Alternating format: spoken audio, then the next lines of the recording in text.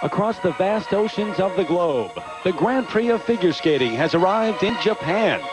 In a country known for imperial glory and changing dynasties, lie three Japanese ladies trying to build a dynasty of their own. Led by world champion Shizuka Arakawa,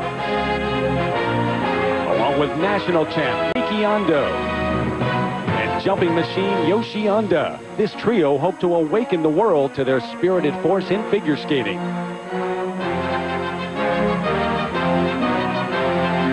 American champions have traveled here to compete for gold. U.S. powerhouses Johnny Weir, Tim Goebel, and Michael Weiss, each with their own strategy. They know only one will win. I feel like I'm trained enough to challenge Mike and Tim, but it's not my main focus. Someone's going to be going home without a medal. It's definitely going to be a battle at this competition. Will the U.S. men sweep the podium? A fierce fight to the finish is ahead. From the land of the rising sun, the NHK Trophy is next.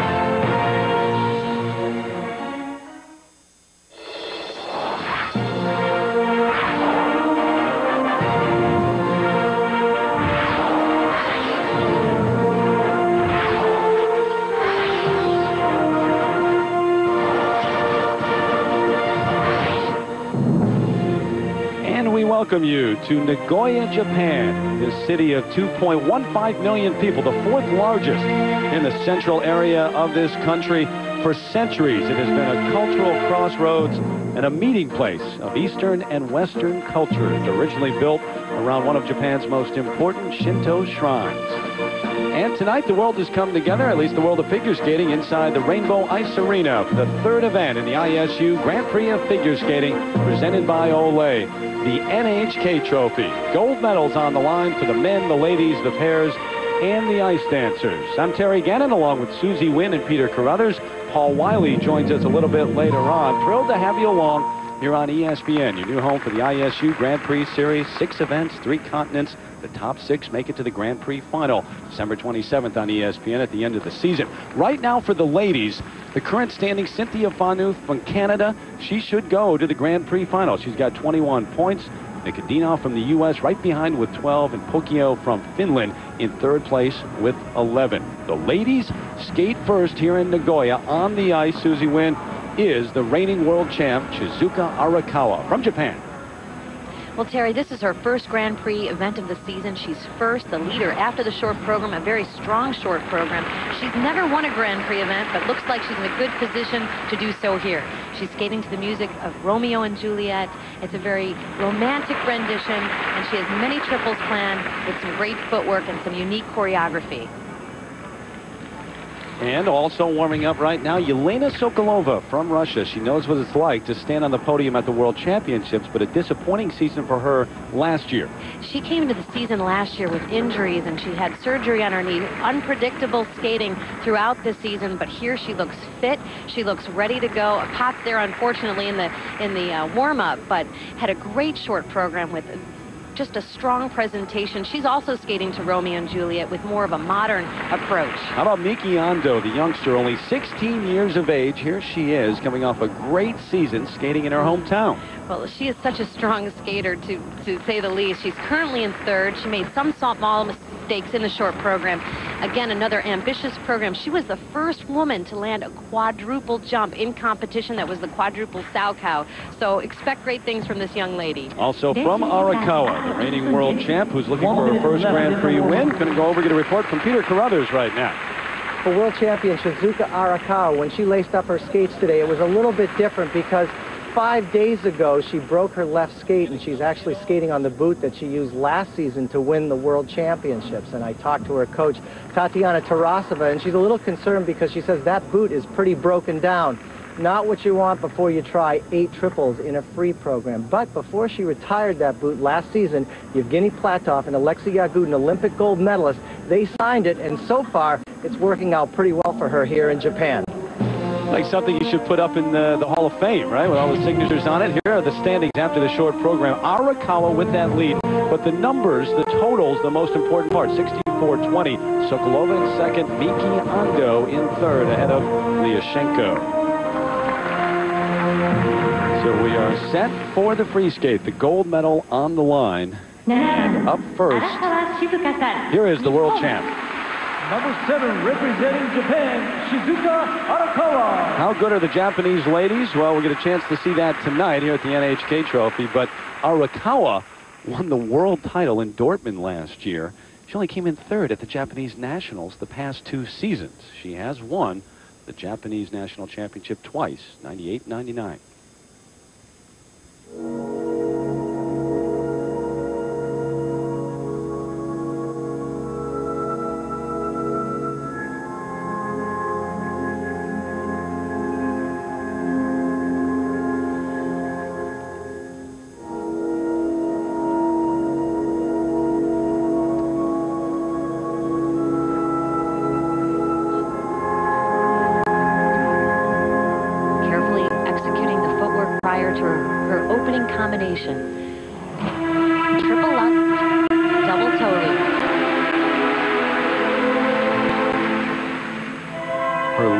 at this point is a substantial one, over 11 points ahead of Yelena Sokolova, who is in second place. Very difficult combination plan here. Triple Salchow, triple toe loop. Hot off the top. Well done.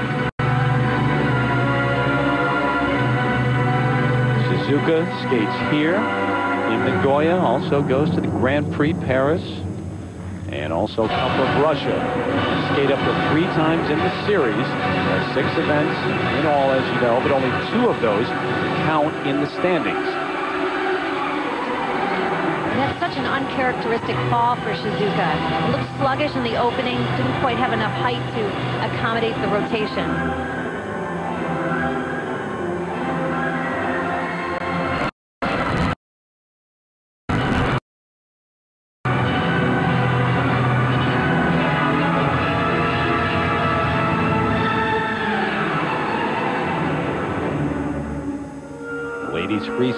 Four minutes in length.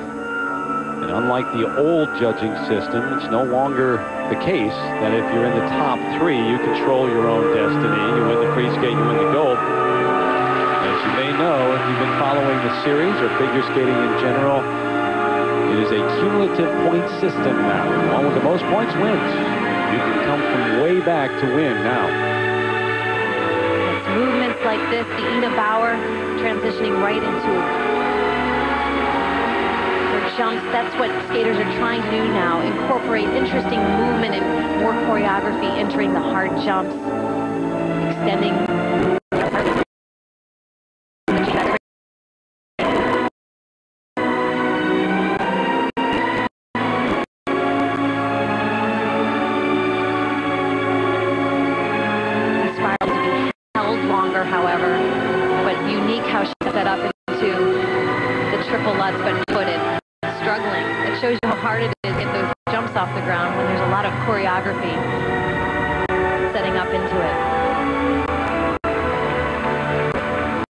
Gets in the way of what? The jumps in the way, in the way of the until these programs are totally trained and the endurance is really measured and, and challenged, they have to support each other. You want that choreography to be difficult, but it can't stand in the way of great jumps. So it takes a while to really train everything. Unique position with a twisted movement on this layback spin.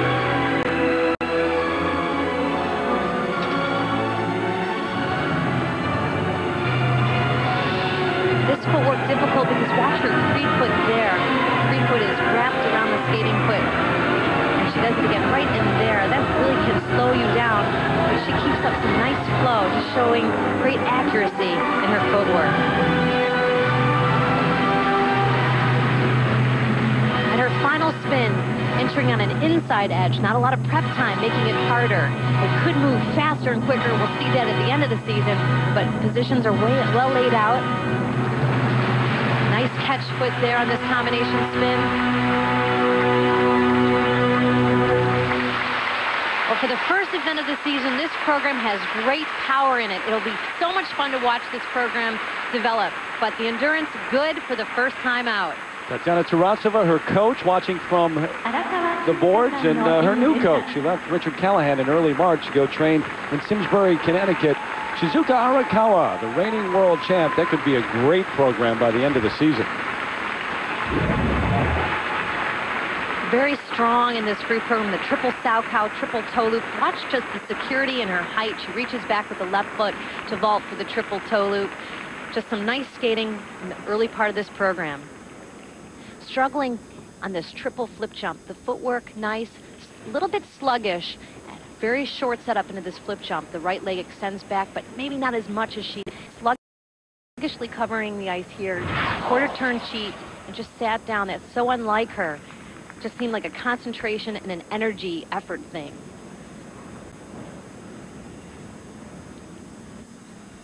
So Arakawa will now wait for her marks from the 10 judges here from all around the globe. The old 6.0 is gone. No more perfection. Kind of like life. Uh, nothing perfect in life either. There are still two sets of marks, though. Technical elements, the program components, the old artistry score, presentation score. At the end of the night, numbers are added together, and the highest total wins. That part is simple. This, of course, will be used at the Olympics and the World Championships.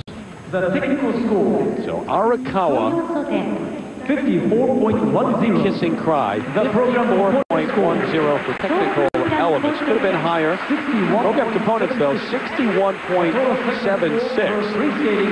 And 114.86. Her personal best is 123.99, so she's not near that. But overall, the grand total 179.06, and that is the standard. The rest of the field will try to match or beat that still to come here at the NHK Trophy. The Americans, Rena Inoue and John Baldwin Jr. in the medal hunt against Petrova and Tikhonov, the 2000 world champs. And the men and the Americans sweep Michael Weiss, two-time world silver medalist Tim Goebel, and national champ Johnny Weir still to come from Nagoya. ESPN's ISU Grand Prix of Figure Skating presented by Olay. Brought to you by Olay. Love the skin you're in. And in part by Smuckers. With a name like Smuckers, it has to be good. Back in Nagoya for the NHK Trophy. Hard to have any perspective on what a good score would be, but here are the top scores from last year. Sasha Cohen with the top three. 197.60, the best score that any lady recorded last year in the Grand Prix Series, and now this international system being used at the World Championships, too, of course. 179.06, the total to beat. Yoshie Onda. As Yoshie Onda takes the ice, 46.46, her total after the short program. And Onda, 21 years of age from Aichi, Japan, now trains in Virginia with her coach, Audrey Weisiger, who coached Michael Weiss for many years.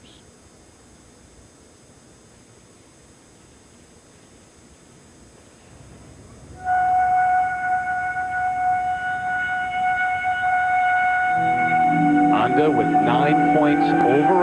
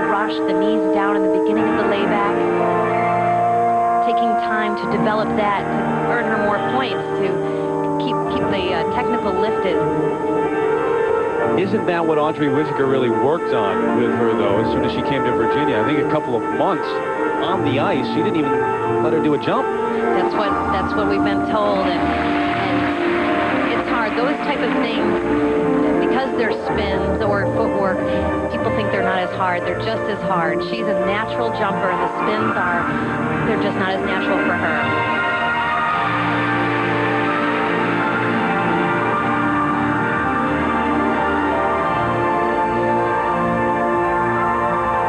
Even though she made it to the Grand Prix final last year where she came in fifth. She did not go to the World Championships.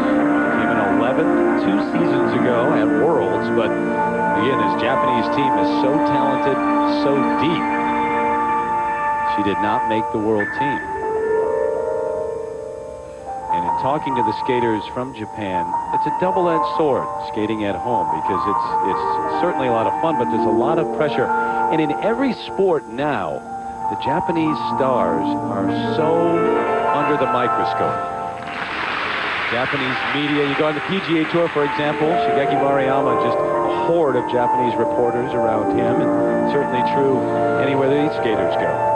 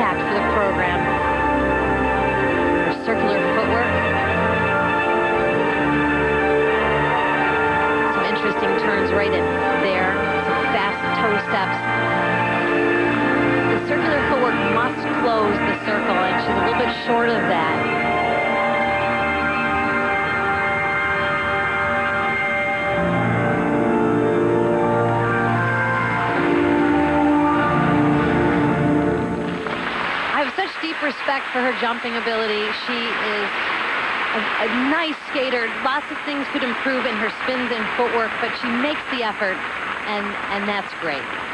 Long way to go to challenge Shizuka Arakawa, though. Remember, Onda in sixth after the short, and a total of 46.46. That overall grand total for Arakawa, almost 180. A mountain to climb, but we'll see. Yoshie Onda, 21 years of age. She opened in fine style, this triple Lutz double toe. Great height. Just She explodes in the air. She didn't get the run out on the edge on the double toe loop here as she normally does. Her back's a little bit, her chest is fallen forward, doesn't have the arched back, but still excellent jumping. Problems, though, in the latter part of the program in the triple Lutz. She didn't seem to, to get a tall, tight position in the air, cheating the jump. That's something she never does. That was a surprise.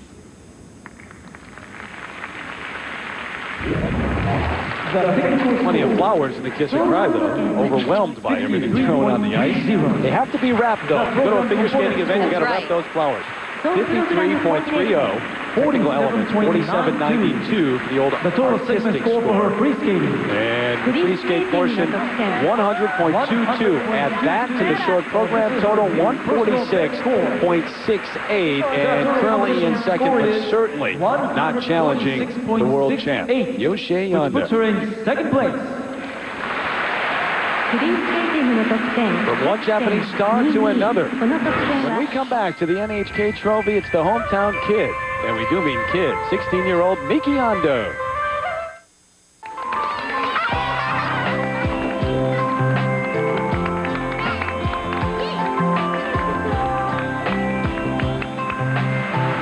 Could be a future world champion in that group of flower girls here at the NHK Trophy in Nagoya. And that is not an exaggeration because when Miki Ando was 11 years old, she was a flower girl at this event and actually danced on the ice with Yevgeny Plushenko. And here she is, the 2004 World Junior Champ who came in fourth at the Senior Worlds last year in third place.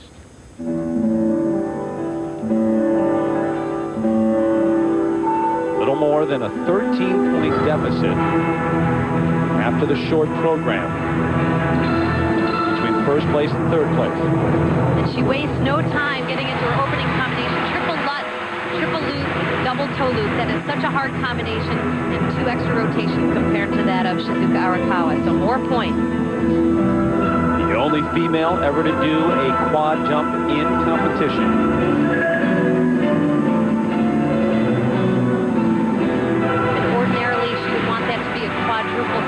Salchow, but she struggled this summer on that jump. She spiked her shoulder, actually, her right shoulder with her foot.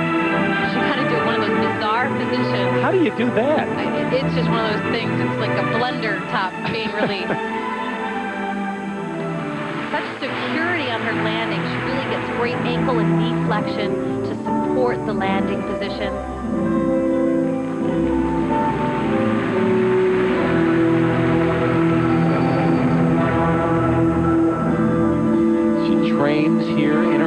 Hometown of Nagoya two to three hours a day after attending high school. She's a second year high school student. And then on the weekend, takes the train to Yokohama skate with Nobuo Sato, famous coach here in Japan. Skates five to six hours per day on the weekends.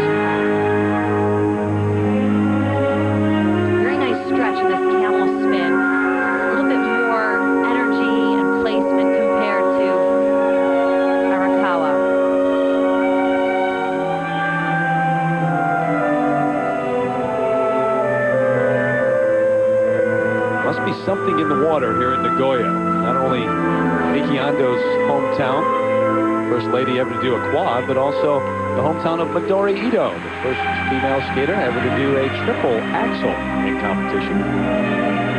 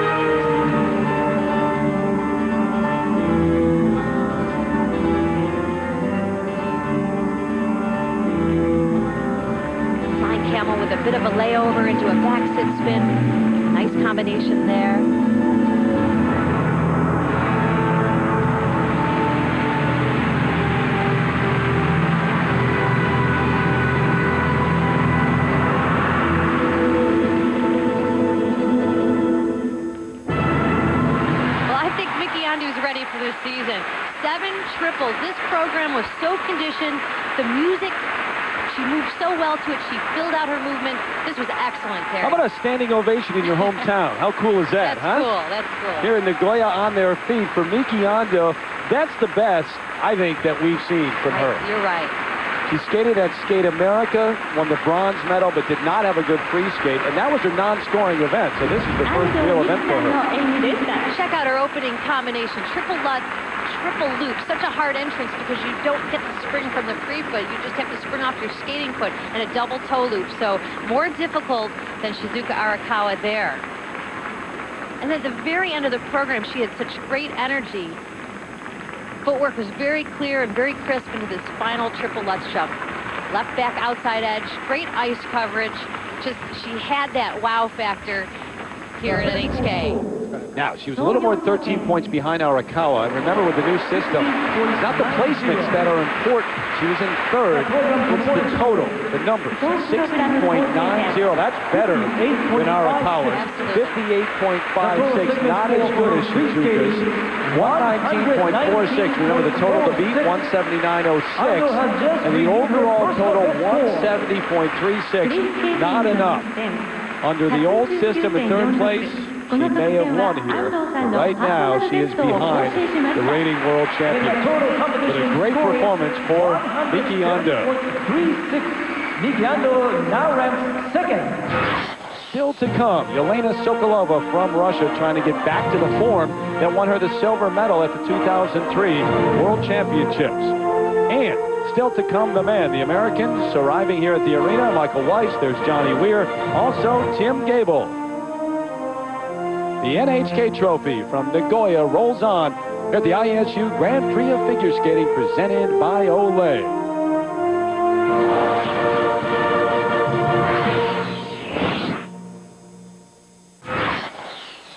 Shizuka Arakawa started the free skate in first place. That's where she is right now, the reigning world champ, trying to win in the Grand Prix Series for the first time. But Miki Ando has stolen the show so far. A great performance for the 16-year-old here in her hometown. She's in second, ahead of Yoshie Onda, the 21-year-old who jumped from sixth to third. It's been a Japanese party so far in Number Nagoya. seven, representing Russia, Elena Sokolova.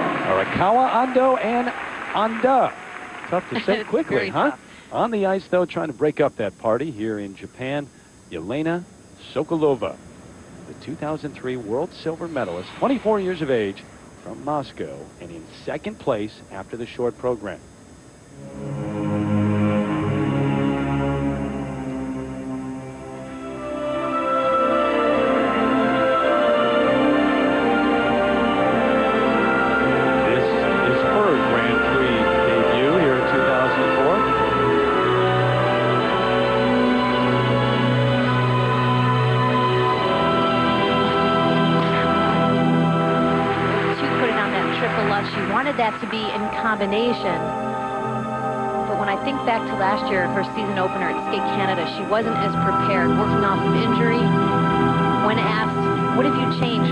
Season? She says, I haven't changed anything. I've changed my mind. So she's a new mindset here.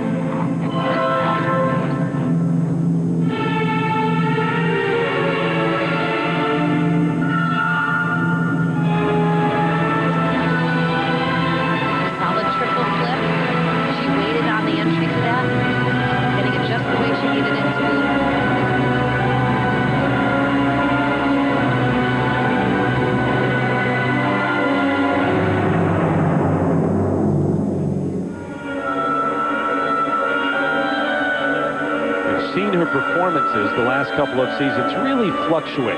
One night great, the next night not very good at all. And much of that, I think, looking back, is maybe you can attribute that to her physical state. With the injuries she's had, surgery last year to remove a cyst on her foot, really took her out at the World Championships where she came in a disappointing 10th.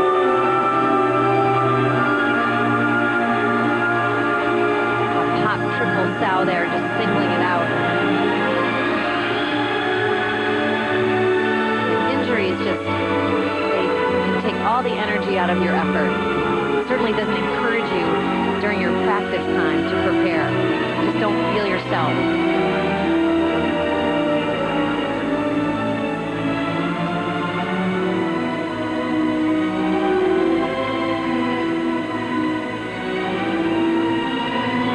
Going back to retry that triple Salchow. Nailed it that time. Very well done. Great execution. Stretching here. Changing over to the inside edge.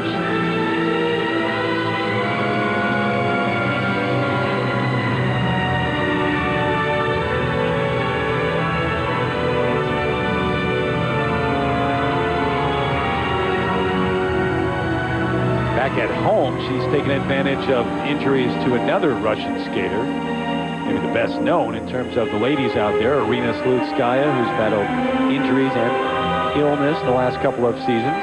Sokolova, the two-time Russian champ, she's won the gold medal the last two seasons in Russia.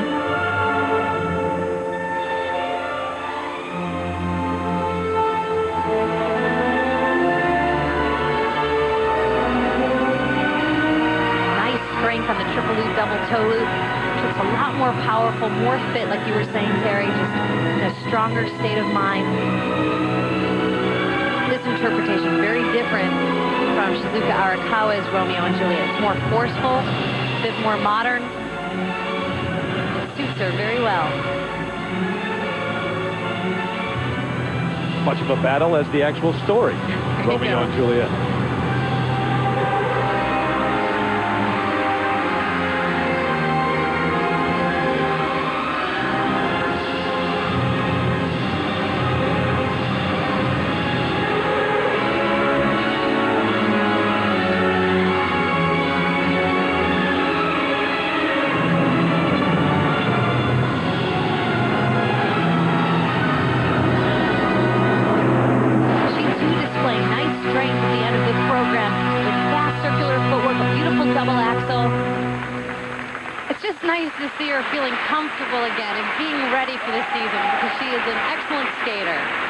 She was over 11 points behind after the short program. We'll see if she can make that up. We'll have the marks for Yelena Sokolova in a moment.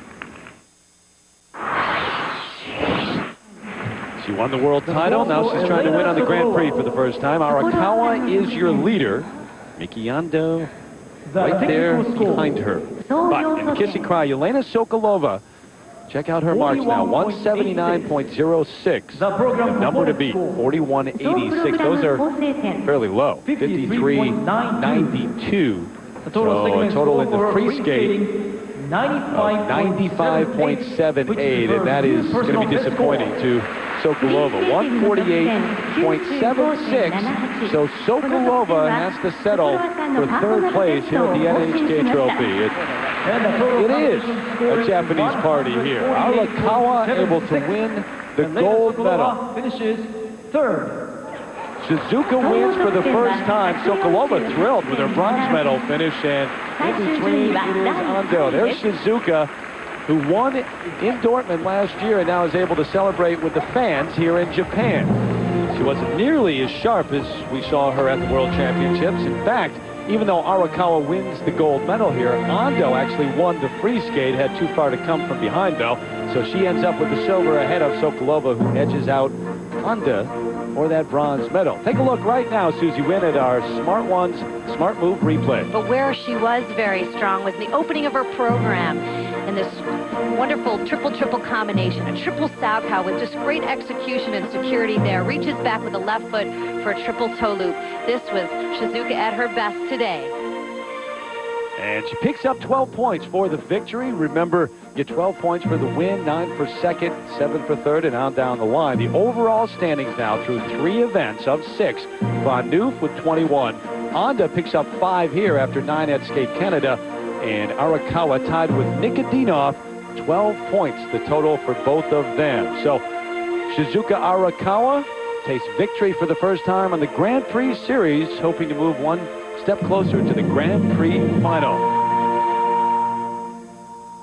The question now is whether the U.S. men can sweep Goebel, Weir, Weiss, three of the top names in American skating, all going for the gold medal here at the NHK Trophy. But the pairs come up next.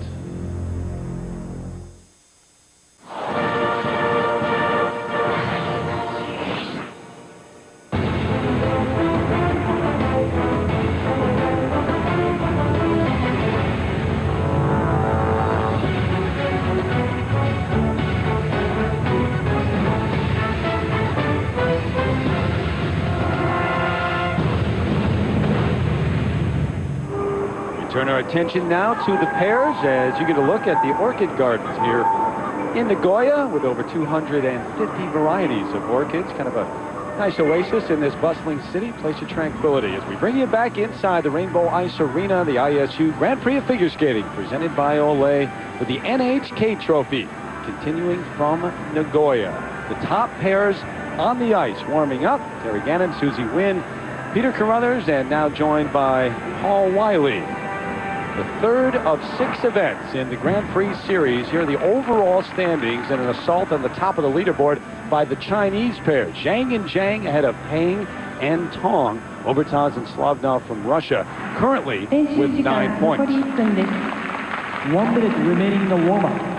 Quite a rivalry between the Russians and the Chinese over the past, oh, five or six years. On the ice, warming up the 2000 world champs, Maria Petrova and Alexei Tikhonov from Russia. Susie? The leaders after the short program, they missed Skate America, one of their non-qualifying events, because of Maria's back. She just wanted to rest it. This is their first event of the season. They've looked very prepared skating a very strong short program.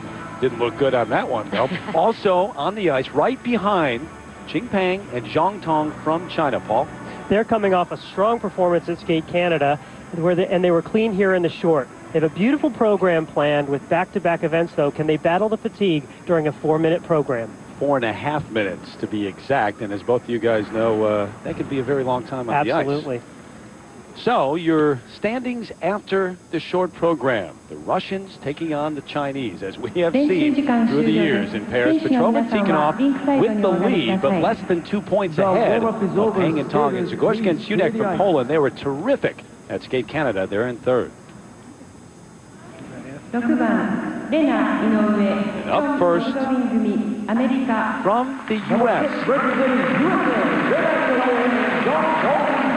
Rena Inoue, John Baldwin Jr. John from California, but Rena is back in her home country. She is from Tokyo and has family and friends in the stands here. Used to represent Japan at the World Championships and the Olympics, but now representing the U.S. with John. Currently in fourth. In practices, their throws seem much improved, and speed and conviction in their skating is stronger. They open with a side-by-side -side triple Lutz. Very risky side-by-side -side element, which they missed in the short program. Both are former single skaters. She's a bit more consistent on the element.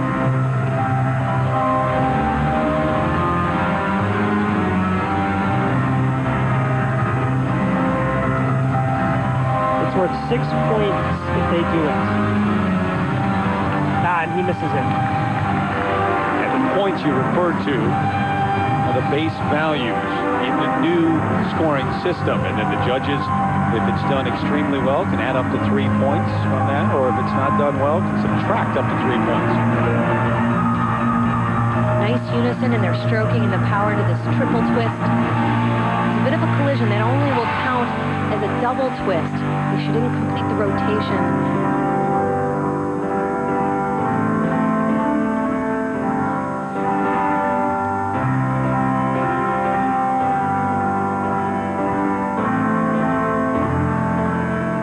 very solid pro triple Salchow. Yes, Terry, as you mentioned, there are grades of execution added to the difficulty base mark.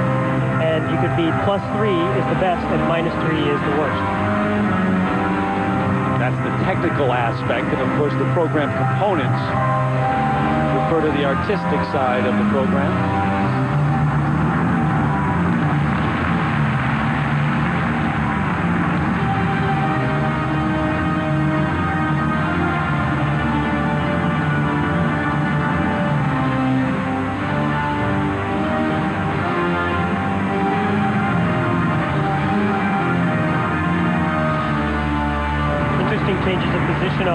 On that Starlift. This program is working more from a unison standpoint than, than it was last year, I think. You're right. A lot of their in-between skating is gelling. Like unison here in this flying camel, the side-by-side -side spin. That's the area that they're cleaning up their skating and their connections, and that's been real noticeable this season. They are the reigning U.S. champions. They won their first title last year in Atlanta.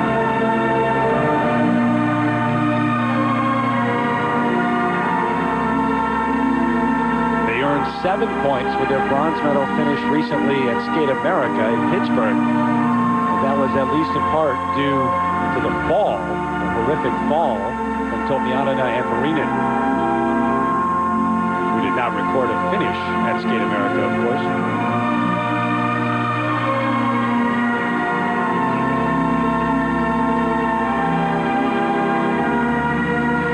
She just has such great control and power on her landings with that throw triple loop.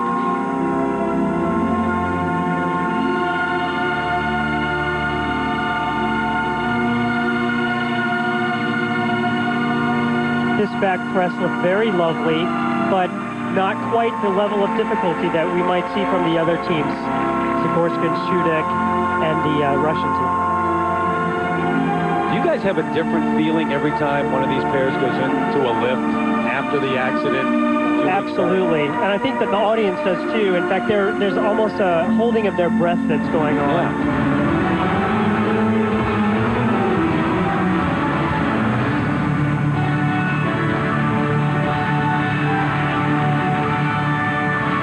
Talking with this team, they're so excited about their choreography. They worked with five-time U.S. dance champion Peter Tchernyshev on this program, and they feel it offers them more emotion, and they have a lot of confidence in this program. Any chance Susie Wynne gets to bring up dance, she does.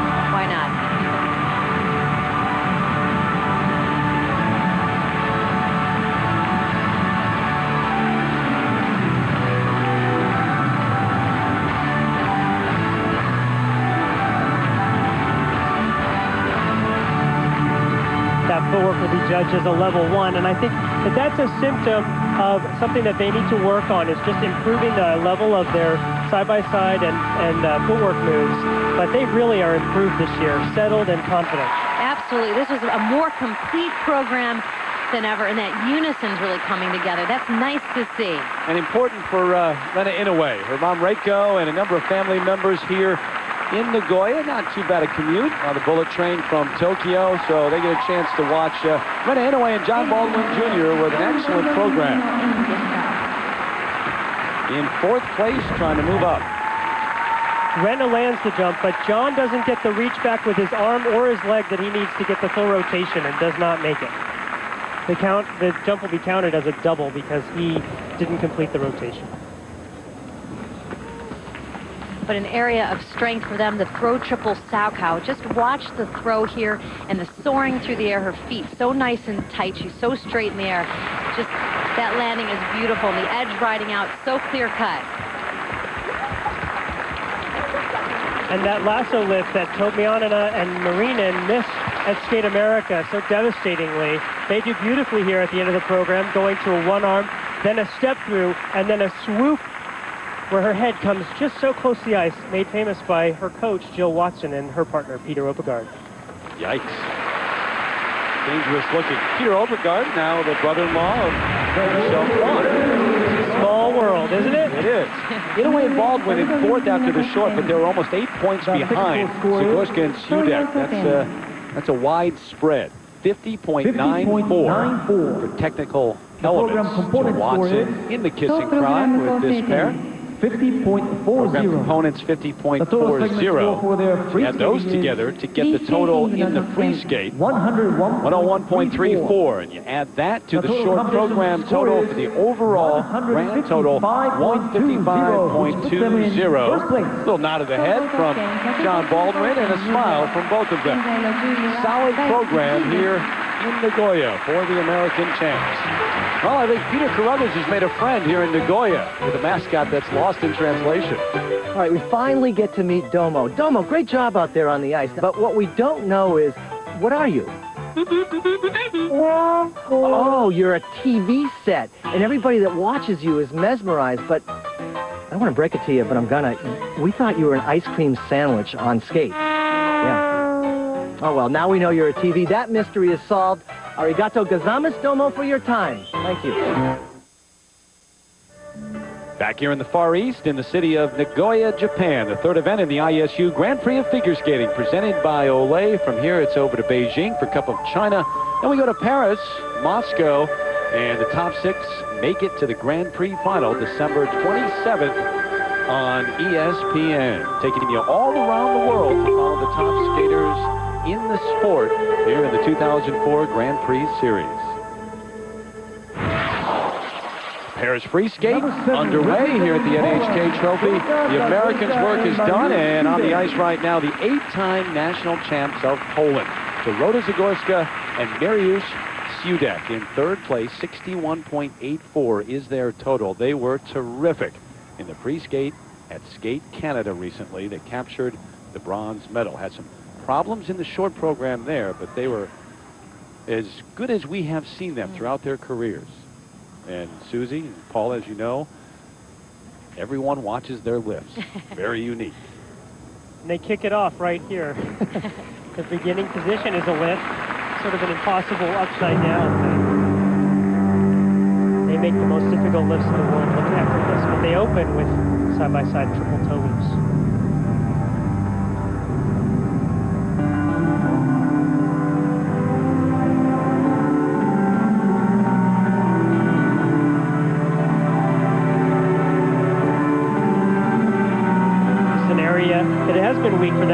Very good in Skate Canada. He steps out a bit, but they complete the triple toe, double toe sequence.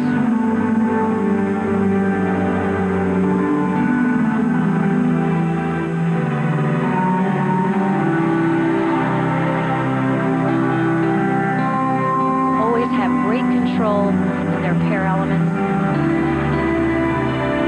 Great press off of this throw triple loop. Her Look body at her hold on to that. But boy, that's a fight.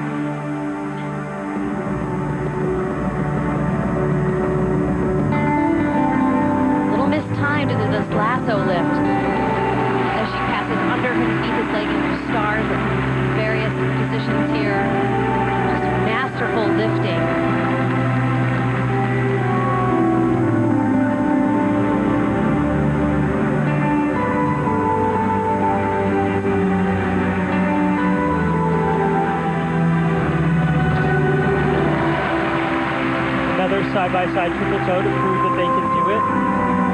I just feel that they're a bit slow, Susie, and I think they're not considered on the same plane then as Shen and Zhao had Tatiana and Marina. They just don't get that force and that friction off the blade. I know what you mean. Strong in the lifts, but right here, not taking advantage of the flow of the blade.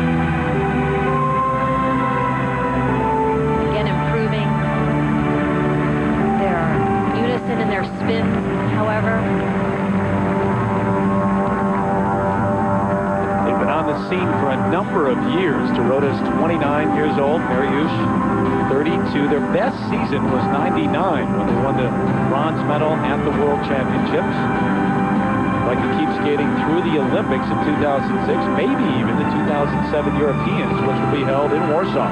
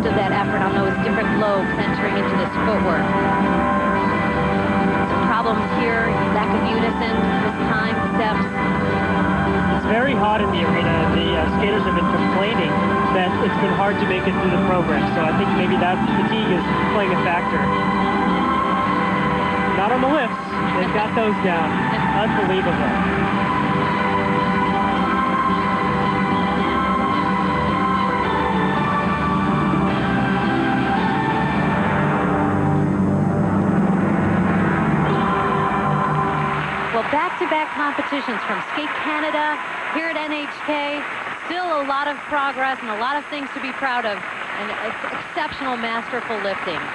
Zagorska and Siudek from Poland, less than five points out of first place and about three points behind the second place team. Eight-time national champions of Poland will have their marks in just a moment. And then it is the team in second, Qing Pang and Zhong Tong, who sometimes push the edge and go beyond it. As you may have heard, the 84 Olympic gold medalist, Scott Hamilton, was recently diagnosed with a benign brain tumor, a non-cancerous tumor in the region of the pituitary gland. Paul, I know you had a chance to speak with him. And he sounded incredibly upbeat and hopeful and just thankful for everyone's prayers and support. We wish you the best, Scott.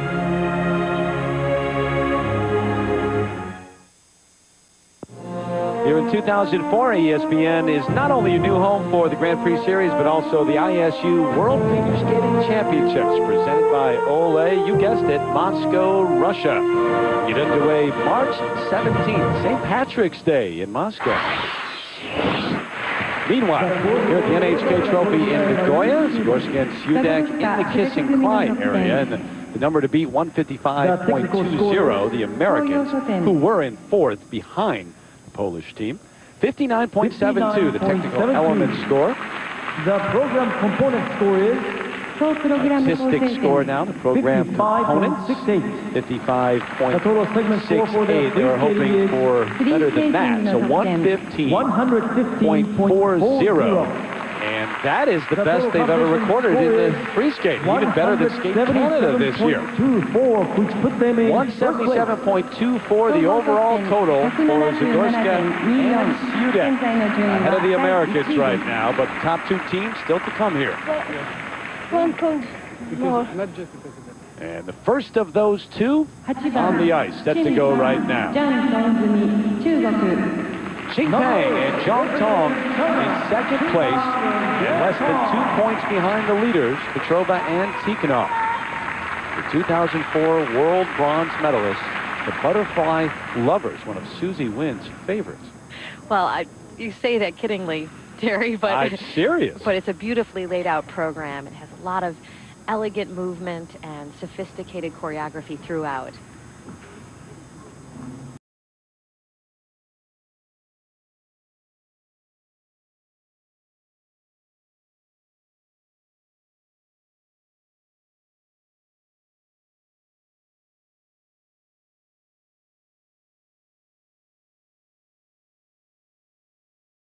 Right off the top, getting beautiful speed and flow off their edging.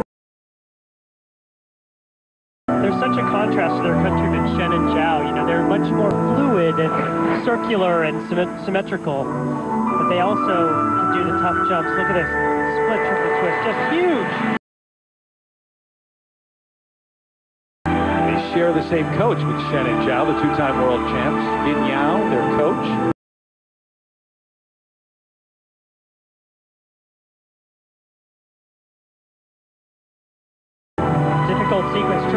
And double axels. They did those very nicely.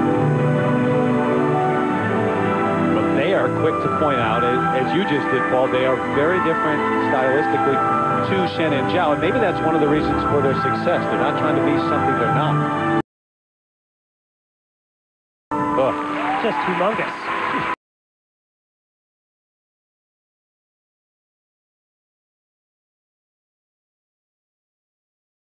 Uh, he caught his edge on that camel, and these are off. This, this is hard. It's hard to recover the spin when you're off like that. Caught his edge, meaning? The outside edge folded under his skate, and then he got off a half turn from her and couldn't recover.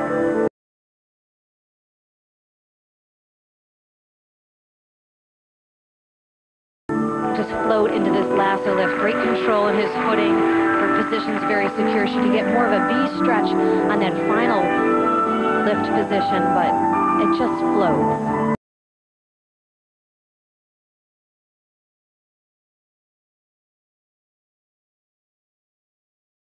Hey, that was a badly missed double axel, which is going to cost them because it'll actually cost them 2.5 points automatically.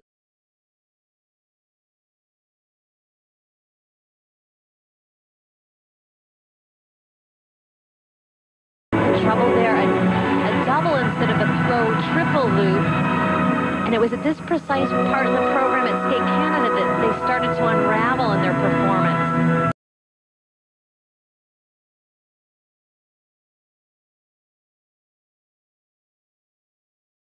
It was their program component scores at Skate Canada which held them up, enabled them to win that silver medal.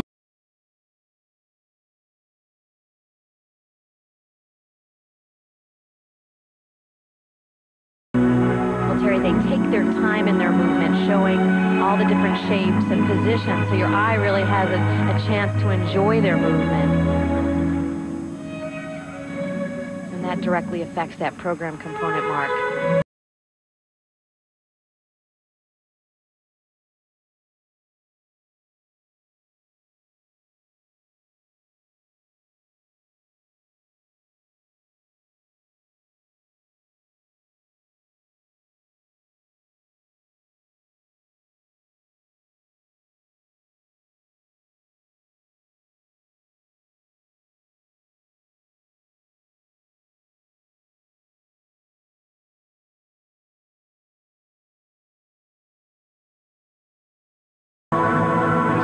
Second event in the Grand Prix this season, but we are going to see them again in Paris. That will be their non-scoring event, though. This is the last opportunity for them to earn points for the Grand Prix final.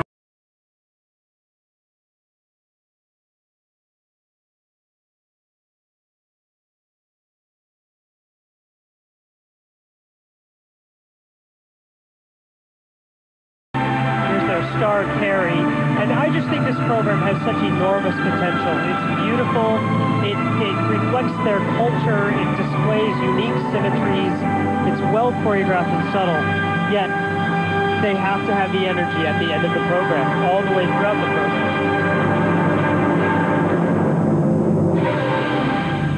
Well, they certainly were able to recover very nicely. Some sketchy moments in midstream, but a lovely program.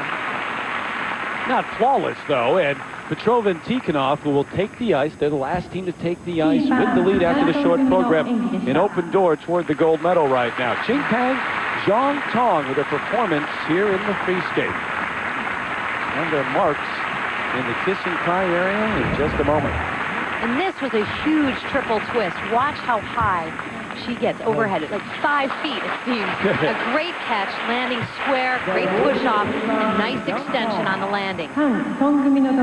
And ordinarily, their throw triple loop would also be huge and wonderful, but her shoulders got ahead of her hips, and she could not hold the rotation. She had to pop it out into a double.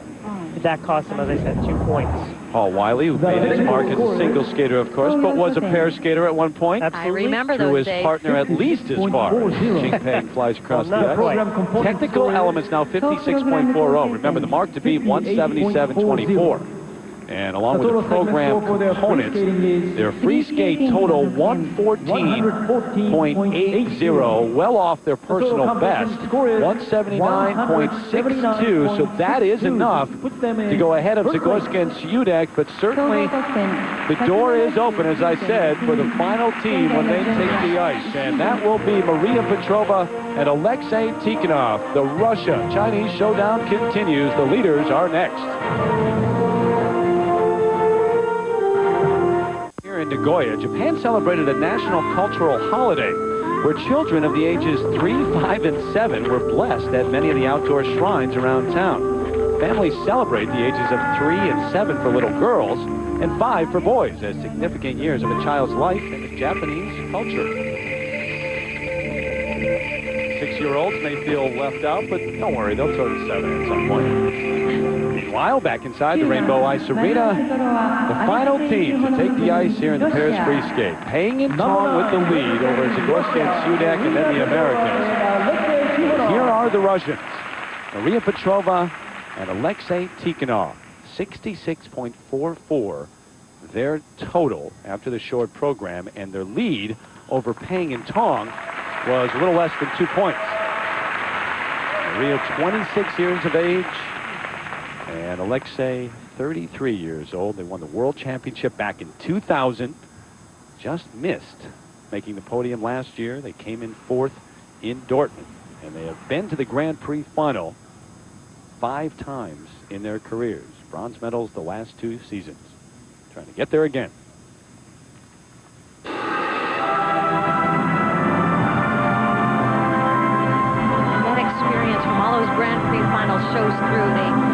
Right into things with great speed and power, lots of confidence.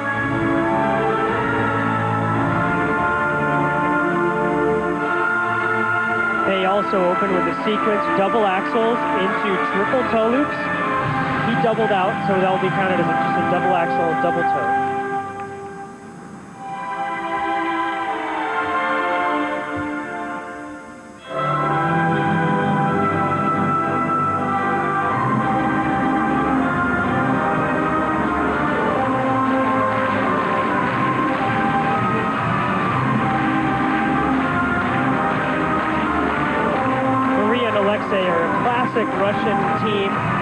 Tradition with the folk music and just incredible confidence on the ice.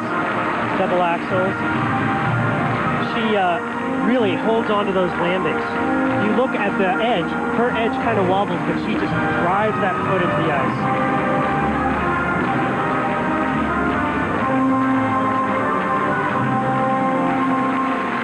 And that triple twist, not as high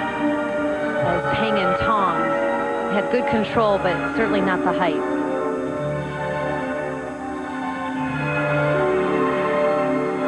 But they did the triple loop. Beautiful.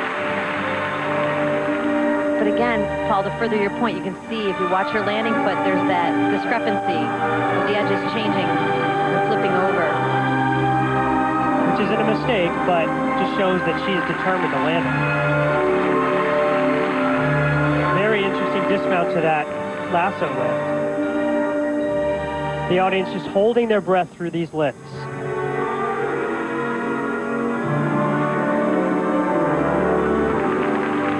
They were scheduled to compete at Skate America, but withdrew. Skate America was their non-scoring event, so they still have two left. But they later cited a back injury of Maria's, and uh, she has recovered extremely quickly here at the NHK Trophy. No signs of that at all.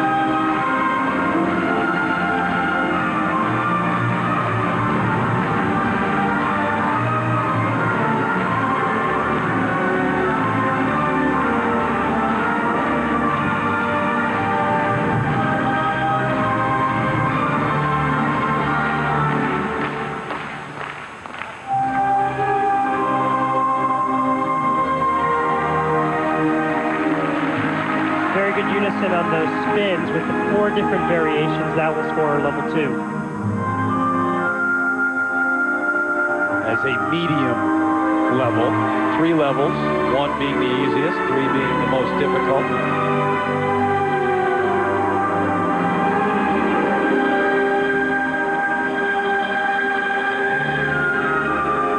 And now very late in the program, the throw triple Salchow. Very difficult to hold on to, but she does a great job.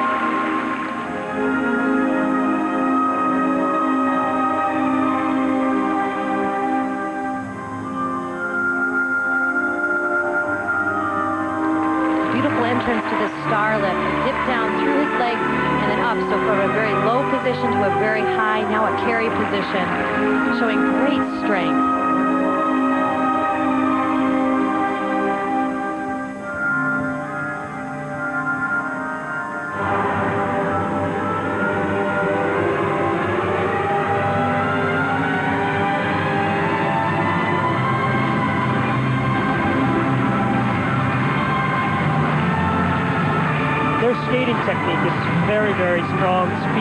Coverage of the ice, flow, exhibited here in this footwork. Their execution, the overall mark, I think, should be high because they're very confident. Oop, Whoop. just as I said it. It the old always announ- happens. the announcer jinx.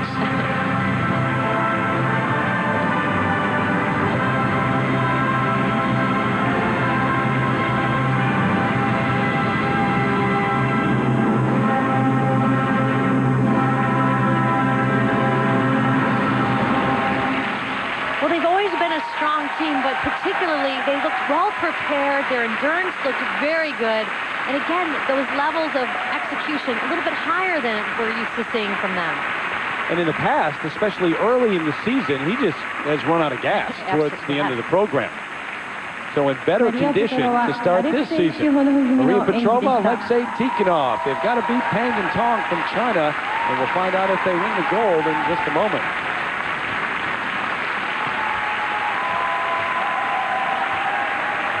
The leaders after the short program. Alexei doesn't wait for his toe and rushes his arm and his free foot, popping the double into a double. 2.7 points automatically off the base mark. But deep in the program, great strength and endurance they showed here on the throw triple Salchow. Just watch her air position. So tall and straight in the air, tight feet. On the landing, watch that little shift of edge. Outer, inner, outer. That just shows, wow, what a fight. Now it's pretty close after the short program. Less than two points separated the Russians from the Chinese. 61.12. You agree with that? Well, their levels of difficulty were higher than I expected, and Pang and Tong's were much lower than I expected. So 121.12. So the overall grand total, remember 179.62, the number to beat. And that one easily beats that 187.56. So the Russians able to finish on top, and they the difference between first and second places. Great performance here. The judges certainly saw it that way. Petrova and Tikhonov, your champions. And here are the final results. The Russians win the gold, their first event in the Grand Prix this season. Pang and Tong settle for the silver. Once again, Zagorska and Siudek round out the podium here at the NHK Trophy. So we are now through three of six events in the Grand Prix Series. Here's the overall leaderboard. Pang and Tong, 18 total points. Petrova and Tikhonov, 12 points for the gold medal here, and they are tied. It's pretty tight. Zhang and Zhang from China Inoue in Baldwin, but now the Americans completing their two scoring events. So that's it for them. We'll have to wait and see if they make it to the Grand Prix final. Petrova and Tikhonov off and running towards Moscow. They would love to compete at the World Championships for the gold medal. They should be able to do that. Now trying to make it to the Grand Prix final in Beijing. Still to come, the U.S. men. Weiss, Goebel, Weir, skating for gold, but up next a rivalry in ice dance. The Bulgarians, Denkova and Stavisky, taking on the reigning world champs, Navka and Kostomarov. The dancers take the ice when we come back to Nagoya.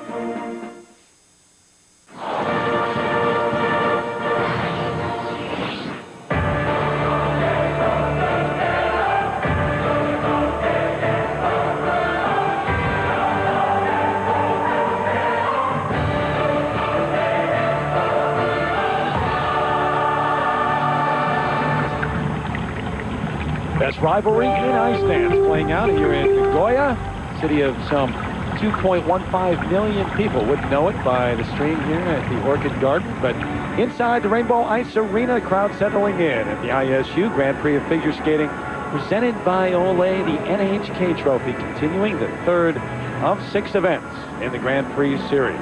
The ice dancers warming up for the free dance. Terry Gannon along with Susie Wynne and Peter Carruthers through two events in the Grand Prix Series. The overall standings look like this. Remember, the top six in each discipline make it to the Grand Prix final. The Americans, Belbin and Augusto, off to a great start. The Bulgarians, who are here, tied with them on top with 12 points ahead of the Canadians, Wing and Lowe.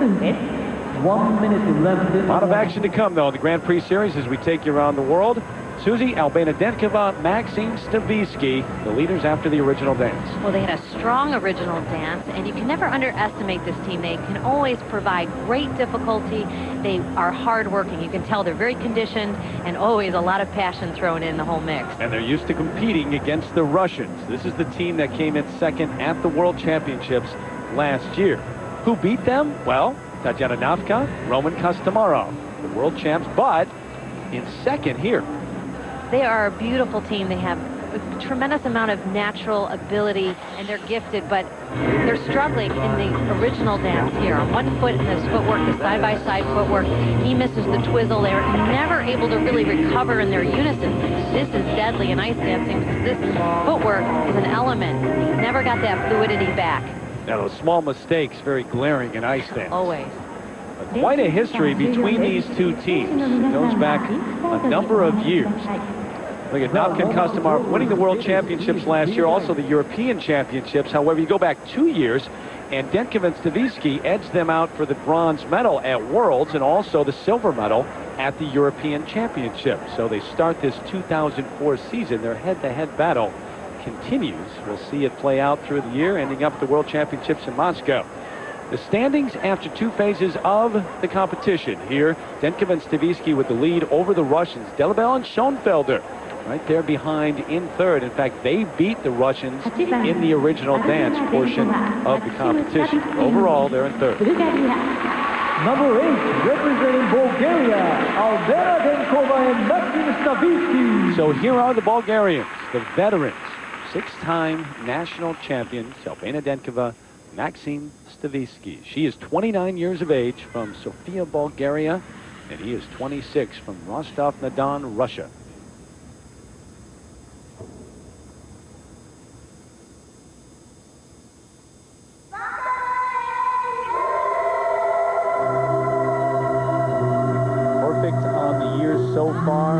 The gold medal at Skate Canada.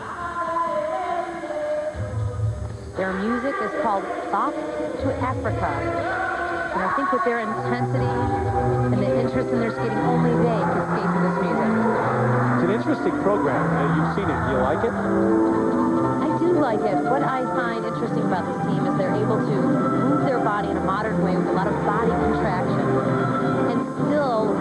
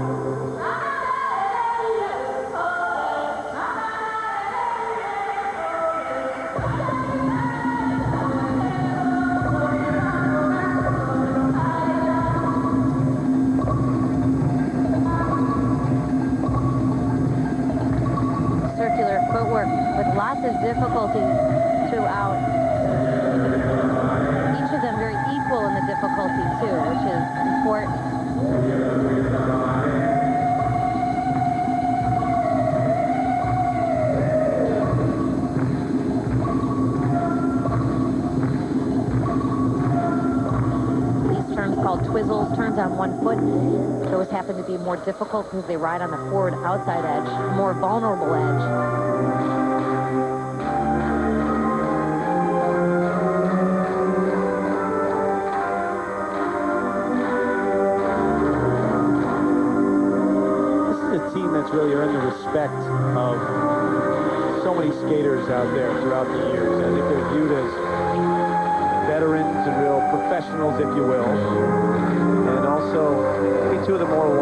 skaters on the circuit. Well, they're friendly with everyone, and they're outspoken.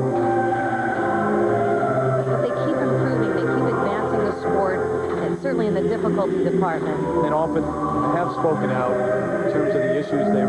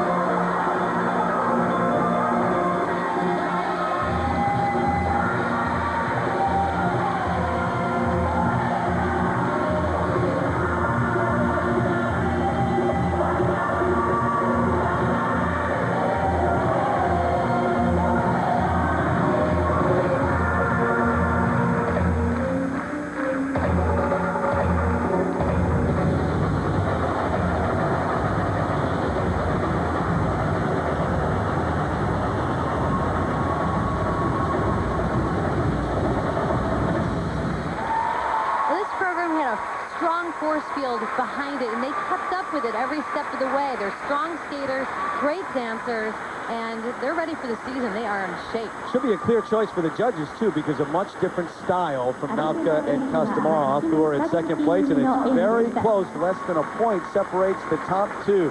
Come back with the marks for Denkova and Stavisky here in Nagoya in a moment.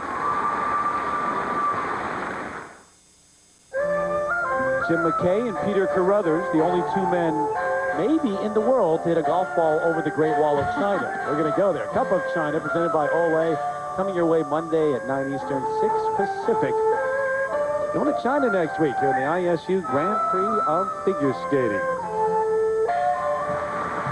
Meanwhile, in the Kiss and Cry, Denkova and Stavisky, the leaders after the original dance, but a slim lead less than a point over the Russians. So here are the marks.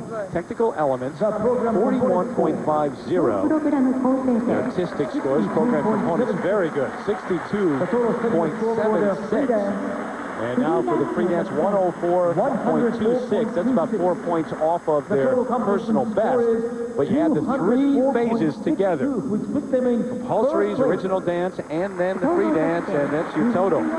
So the Bulgarians with the lead, but remember the Russians still to come. Up next, though, it's the team from France. Currently in third place, Isabelle Delobel and Olivier Schoenfelder. She is 26 years old. He is also 26. They train in Lyon. 97.05. They beat the Russians in the original dance, but are in third. And this is a couple that really can handle such difficulty in almost every aspect of their skating.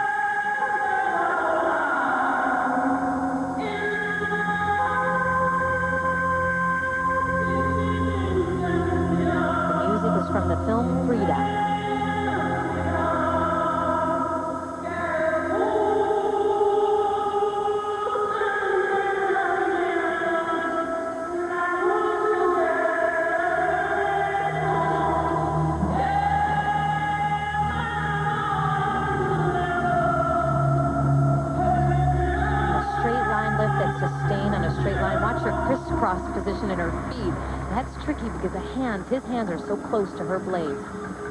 Good work.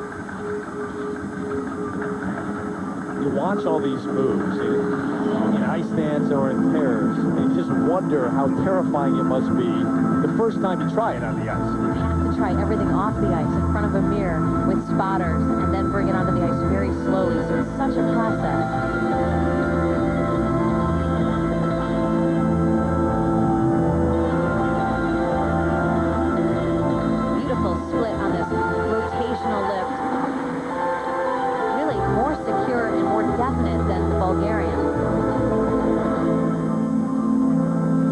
Schoenfelder finished just off the podium at Skate Canada, but that was their non-scoring event.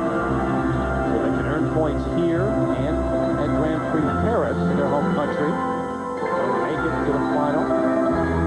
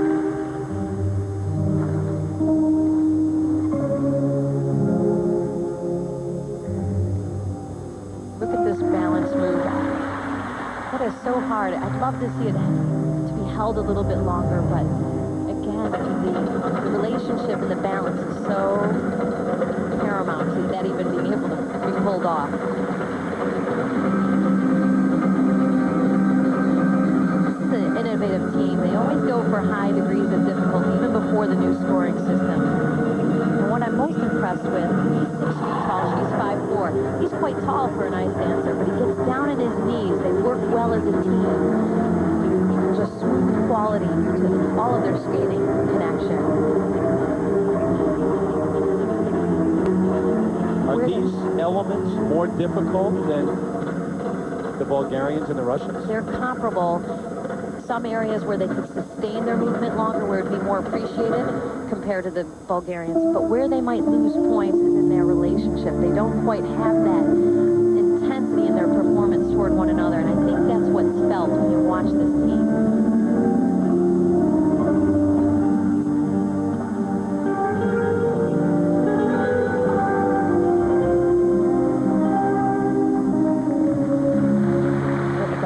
like that, very comparable to the Bulgarians, if not better at, at those certain points. And then into one hand.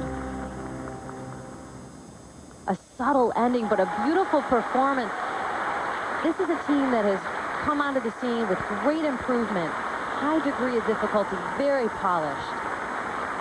They made it to the Grand Prix final last year, a top five finish. Not good memories of the NHK Trophy, though. They finished off the podium two years ago. It cost them a spot at the final. Final team takes the ice. Navka and Kostomarov, the world champs, don't want to start the season with a loss. They're next.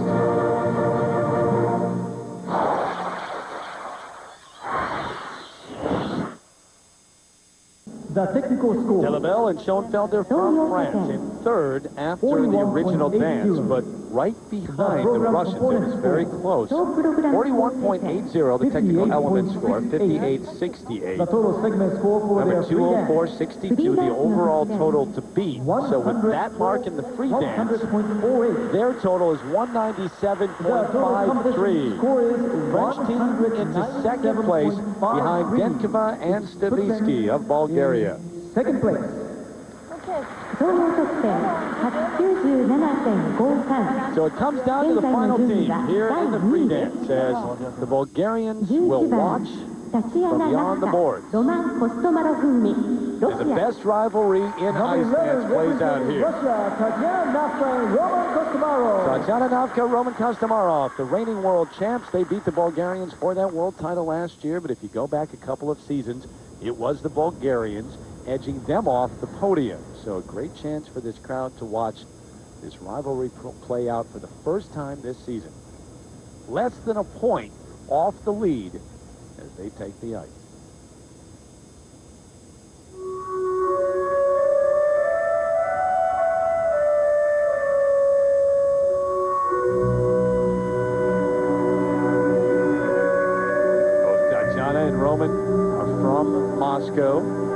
Championships will be held this season, but they now live and train in Montclair, New Jersey.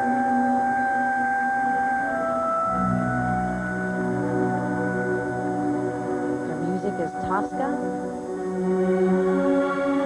Very heartfelt and strong music, matching their emotions and drama.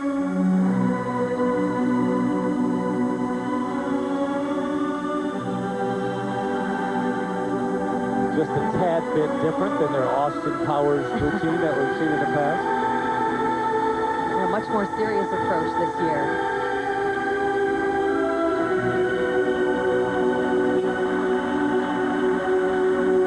Beautiful transition from a straight line lift with a unique dismount. I think that they have the best leg line world. When they stretch out their legs, they hold these positions, show strength and beauty. A lot of teams don't have that length.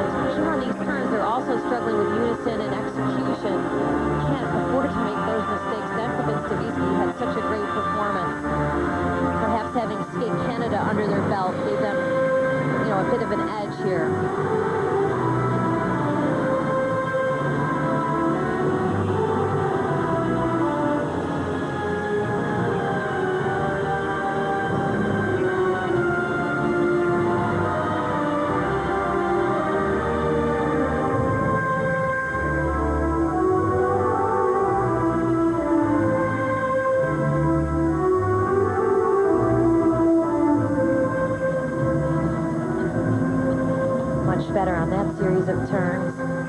Easier turns, but well executed.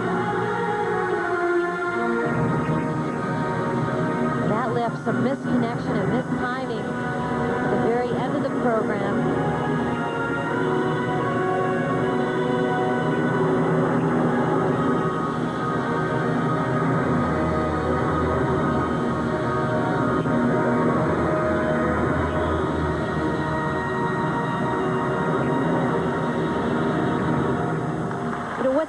Unfortunate is that they have upgraded their difficulty and their skill level, but they made, you know, two or three big mistakes toward the end of the program. That's unfortunate because they're a great team, and I do see the difficulty. They just have to challenge this program a little bit more, perform it and practice it very So by hard. the end of the year, it might Yeah. be great. The competition's not over between this, this couple and Denkova and Stavisky, that's for sure.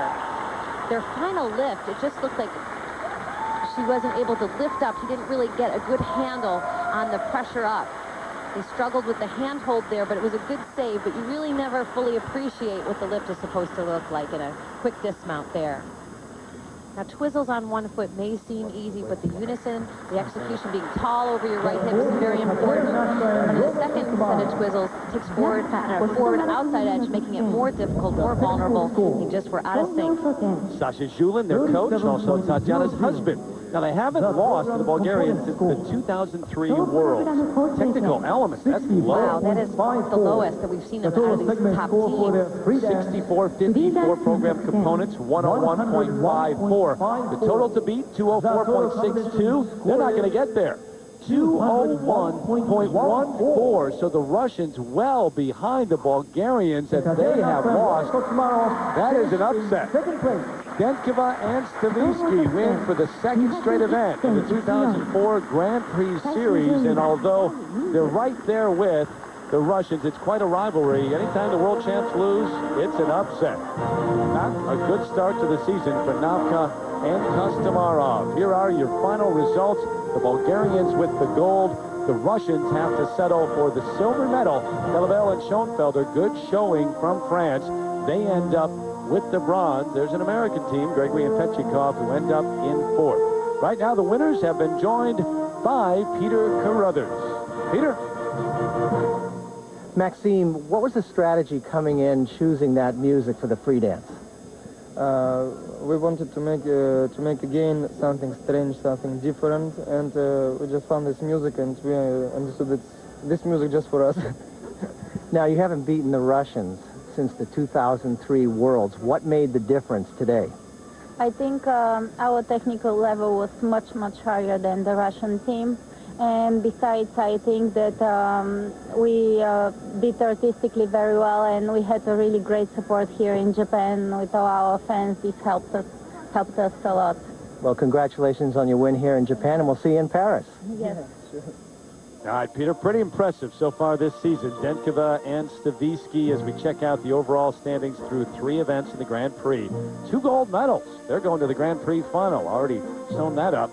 Belbin and Agosto, we'll see them again in the Grand Prix. They have 12. Wing and Lowe of Canada end up with 11. The non-scoring event here for Navka and Kostomarov, it's a pretty good thing. One gold medal left to be decided. The Americans have the inside track. Weir, Weiss, Goebel, The Americans going after the gold when we come back to Nagoya.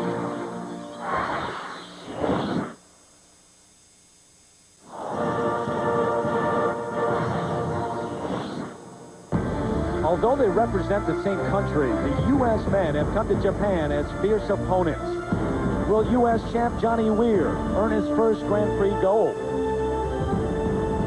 Will Tim Goebel find redemption from a disastrous season last year? So far, he's sitting in second place. And then there's fellow American Michael Weiss. A win could secure him a spot in the finals. Who will win the third crown of the Grand Prix Series? The men's free skate is next.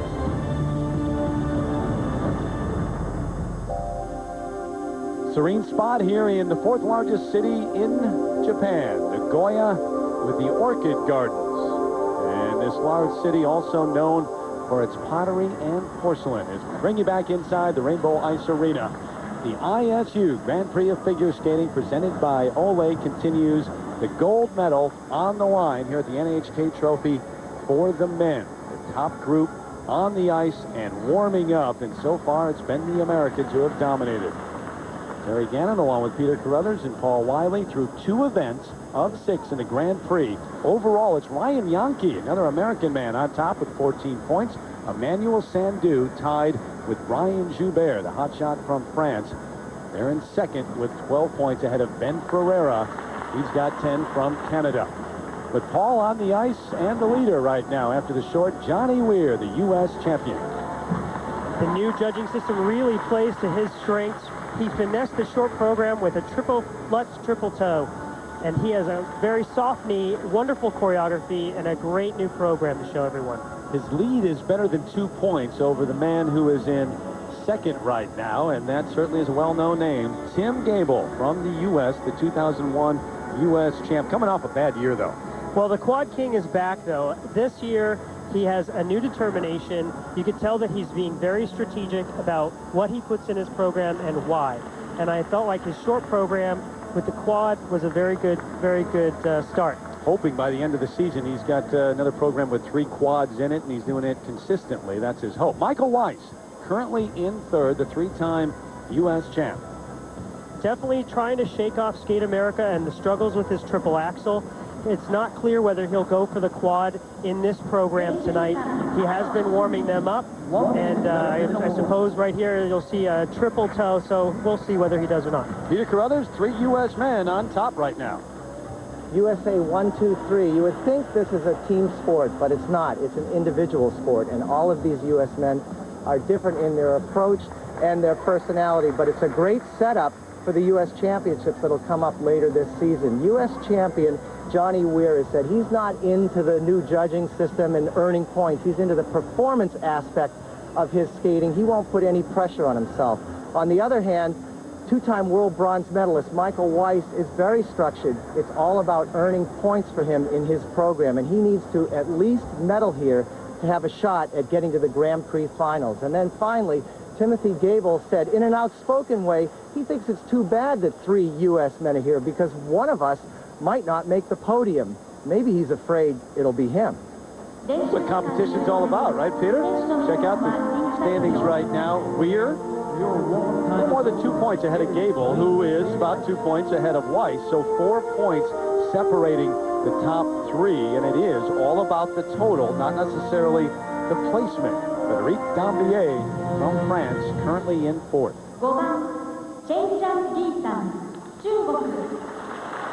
So here we go. The men's free skate, four and a half minutes in length. And on the ice first, from China, Cheng Jiang Li, 25 years of age, from Changchun. He lives now and trains in Beijing with the other top Chinese skaters. He came in 10th at the World Championships last year, but uh, that was quite a drop-off. He came in fourth back in 2003, so he's trying to get it back together.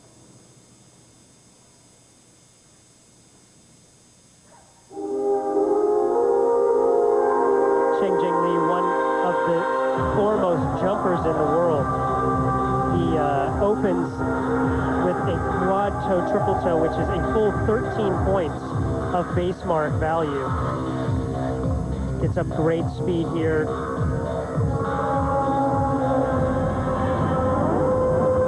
Brilliant, brilliant height. Great run out, great air position. So terrific start for Lee here in the free skate.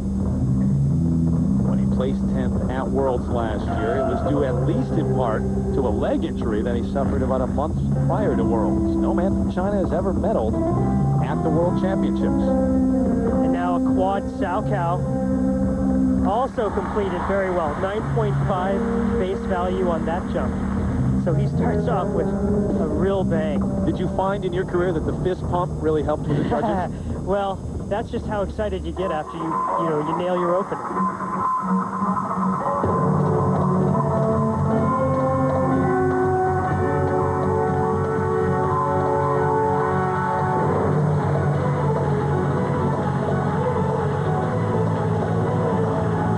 he pops a triple Lutz, which is a much easier jump. And, you know, when you pop that, it goes from a 6.0 value to just about nothing.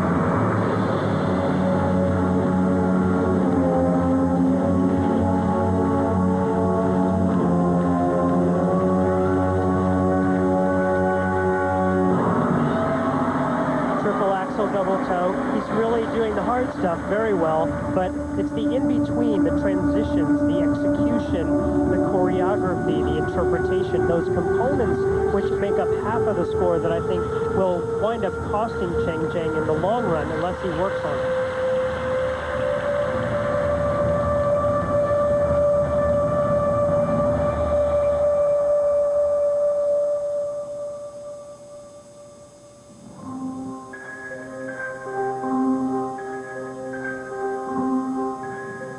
Is it a matter of a skater not working on those parts of his craft, or is it the people in charge, the coaches, the choreographers who have not stressed it enough when you look around skating for the most part? Well, I definitely think that you have to be surrounded by people who look at the big picture. And uh, I think that in the past, it was possible to get by with a couple quads and two triple axels and have just an amazing, you know, 5.9 or, you know, 5.7 in the technical score. But now, with the new system, it's so different.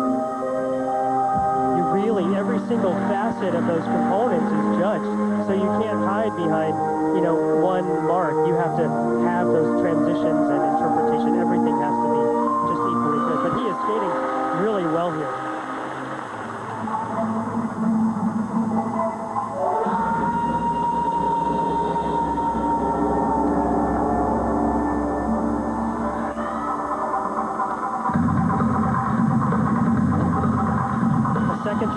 axel, this very late in the program, that's going to give him an extra bonus point of 10%.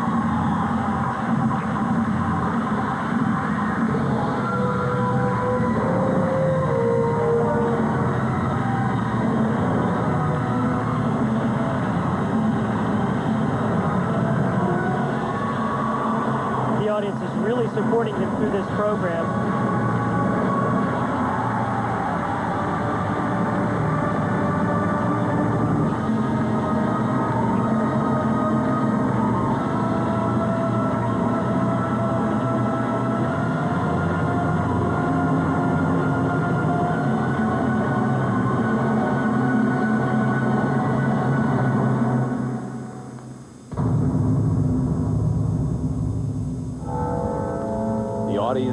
Supporting him, he's supporting the audience. He's done as much cheerleading on the ice as anyone we've seen.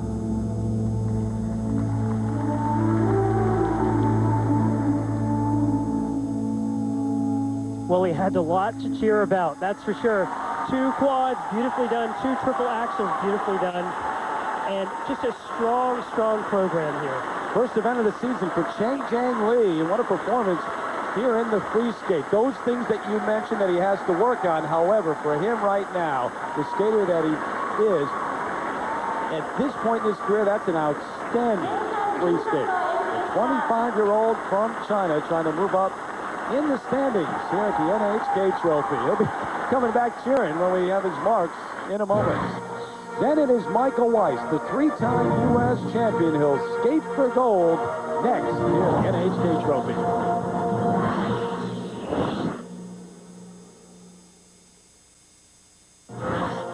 Told you last week to email us your questions at eskate at espn.com. Tori B from Hoboken wrote this during Skate Canada. He talked about bonus points for jumps attempted late in a skater's routine. How much bonus does a skater get, and how are the points calculated? And here is the man, Paul Wylie, with the answer right now.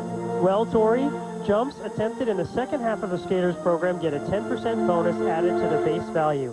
As an example, in the second half of her free skate here, Miki Ando did a triple Salchow double toe, which has a base value of 5.8. That moved to a 6.4 because it was late in the program. Then the triple Lutz, which is at the very end of her program, has a base value of 6.0, which moved to 6.6. Those two jump elements alone earned her an extra 1.2 points. Email us your questions, skate at espn.com. Michael Weiss on the ice, set to go here to skate for gold, skating against two other top Americans. Little preview of what is to come at Nationals in January. Right now, um, you know, I think all three of us are very competitive, and I think we all have a lot of respect for each other's abilities. And really just go out there and try and skate two solid programs. Whatever happens, happens. Um, but as far as the national championship goes, I think it kind of just gives you a little bit of an edge up if you may take a victory here and beat the other guy at this competition. You may feel a little bit more comfortable, a little bit more confident that you can do it again at the national championships. But um, it's, it's definitely going to be uh, a battle at this competition because, like I said, it's early in the season and uh, they usually don't put all three of us at the same place at once yet. But here we go. It is unusual to see the top three Americans at the same Grand Prix event. And there's no question you can gain a lot of confidence with a win here early in the Grand Prix. Third after the short program, 70.06. Michael Weiss's score. And he is about four points off the lead right now of Johnny Weir and a couple points behind Tim Goebel, who is in second. The Tattoo Man, little Led Zepp coming your way.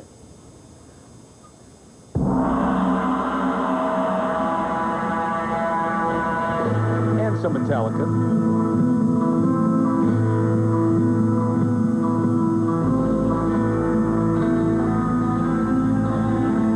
Struggling with some blade issues at Skate America. He's uh, really just trying to line up his uh, technical piece here. Triple toe, double toe, double loop he opens with. I think that he probably would have wished for a quad there.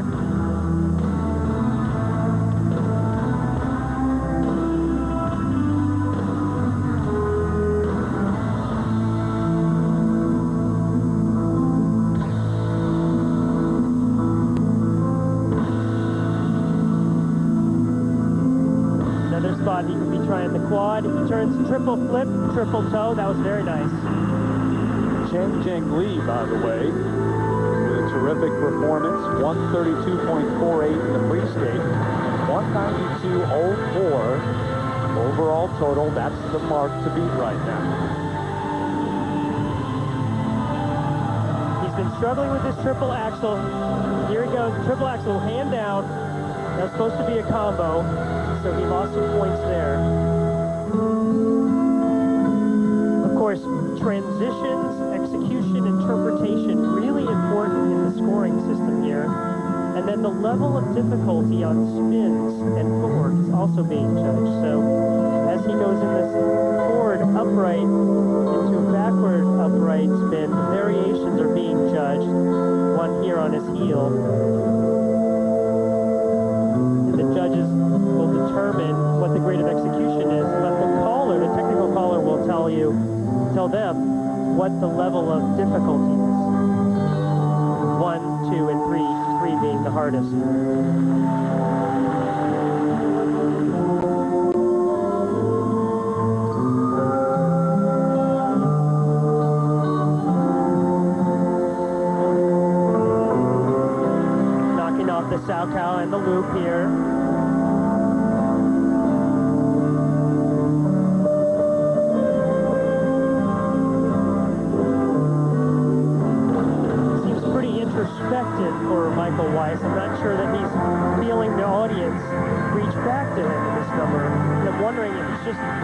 That he's getting used to this early part of the season. Second triple axel, again, a mistake. Does not seem to be powering over the front of his skate on the triple axel and getting through.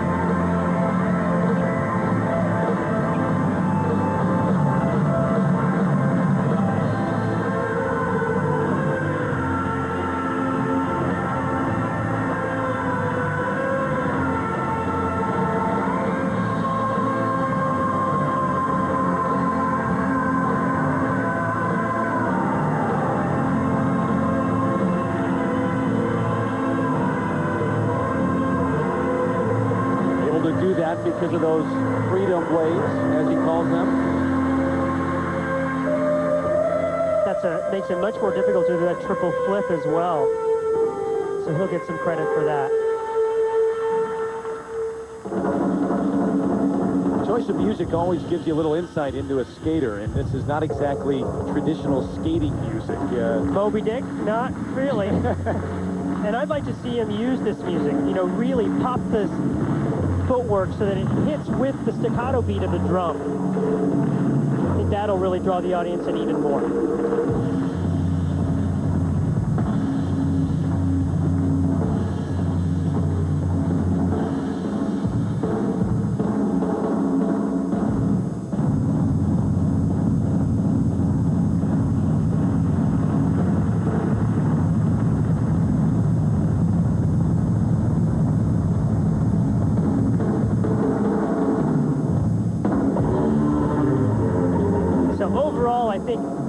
To work on the energy, especially at the end of this program, uh, just to really match the music of Led Zeppelin, which is fantastic. Great choice. Triple Lutz, two-footed a bit, and uh, you know he knows what he has to do before the Nationals. He's got to get the quad in, got to get the two triple axles in, and uh, you know connect with the audience a little more. bronze medal at Skate America just days after he broke a blade on his boot. Had two different boots he was wearing. Some trouble there. Remember the boot problem for Tim Goebel last season. You hope that doesn't happen this year for Michael Weiss. The triple axel, you have to force the momentum forward. And Michael is just not using his arms nor his knee enough. Seeing him fall back there and just never be able to get over his right side. And he had the same problem on the second one, which he was trying to turn into a combination. Driving that, see the arms much smaller than they need to be in the knee, not forward, not pushing him in the forward direction, not being able to stay over that right side. Sounds so simple, but it's really not. Heard Don Laws just a moment ago in the background there. Say, I'm sure glad he did the three-jump combination. 56.14 technical elements. This is Don Laws, who coached Scott Hamilton to Olympic gold in 84. 66.80 for program components. Remember, 192.04 overall the total beat. Add 122.94 to the short program total, 193, even 193. So Michael Weiss with the score to beat, but he lost some critical points with those mistakes. Well, it's all about the base value and the judges adding three or subtracting three. That's right. The triple axel that he did first went down to 5.7. It's usually a base of 7.5. Then on the triple axel double toe, because it wasn't a combination, it was downgraded just like the triple axel, the first one he did. The triple flip, he repeated twice, and so it was the third jump that he repeated, so he got no points for that. And the triple Lutz, two-footed, 5.4. A learning experience for everyone, for sure. After explaining that, how about explaining an Olay ice move right now, the axel. The axel, one of three edge jumps, is most easily recognized by its forward entrance. The skater takes off from a forward outside edge and uses his free leg to propel himself into the air. The axel's unique takeoff requires the skater to complete an extra half rotation in order to hit the backward landing position. We'll be back in a moment.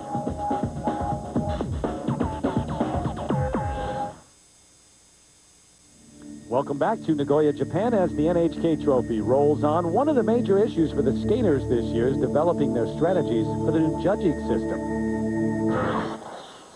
With the new judging system, you really have to skate smart. And a lot of times, starting order in this new system does really matter. And I think uh, sometimes when you skate later in the, in the competition, you can really gauge how your other competitors have skated and then skate smart. You know, do combinations here or there And even if you take a little bit of difficulty off of a quad triple and do, you know, a triple axel, triple toe, or something like that, in order to skate smart, I think it really benefits you in this new judging system. Generally for the Americans, it works in our favor because we're very well-rounded skaters. We, we jump well, we spin well, our programs are, are well put together. So I think um, for the stronger competitors overall, this system is only going to help us. I haven't really gotten into it. I don't, I don't care about the code of points that much. I am very much into doing my own thing and skating the way I want to skate, regardless of how I'll be scored. So um, I guess I'll just see what happens with the scoring here. So Johnny Weir, oblivious to it all, will take the ice last. And if you listen to Michael Weiss, he would have the advantage uh, if it is true that you have the advantage, able to watch the others skate, know what to do, and skate smart, as he says. Fourth after the short program, it's Frederic Dambier from France on the ice right now. 66.85 his total. 26-year-old who trains in Paris, three-time French silver medalist.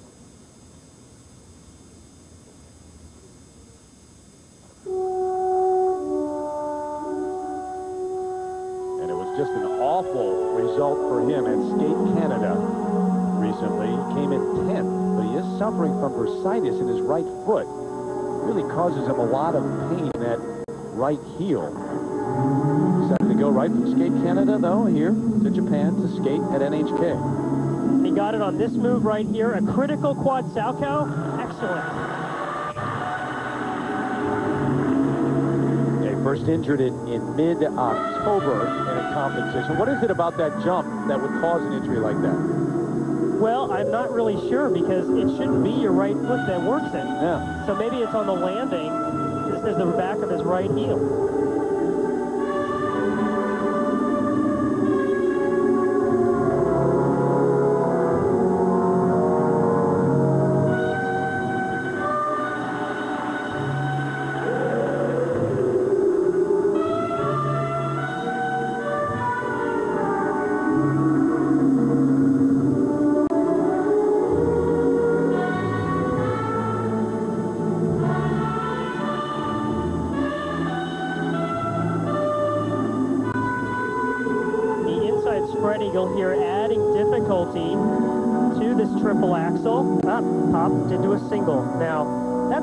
Costly because it takes a triple axel triple toe, which is 11.5, to nearly zero.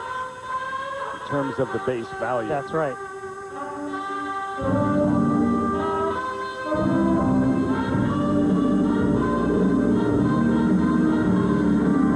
Skating really well to the music here. This program choreographed by Alexander Zhulin. Lots of inside spread eagles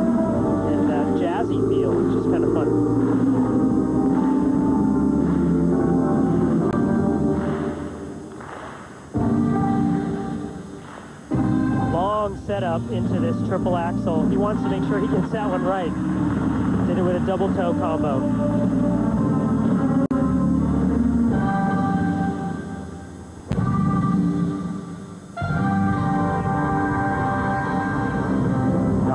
Came on the scene at a relatively late age in terms of getting at a high level. Got his education and is actually a certified PE teacher. That's what he wants to do when he's done skating. At a high school or university and says his idol in this sport, what is he thinking, Paul Wylie? Yeah, I have no idea. he said it's because I'm short. No, no, no. Maybe in part. The overall skating ability of Mr. Wylie uh, having an impression on Frederic Dambier. Who came in ninth at the World Championships last year. When you add that what Brian Joubert did, the silver medal, the French men are able to send three skaters to Worlds this season. Nina Bauer, very difficult into this triple Lutz. That this should count for a bonus score since it's late in the program,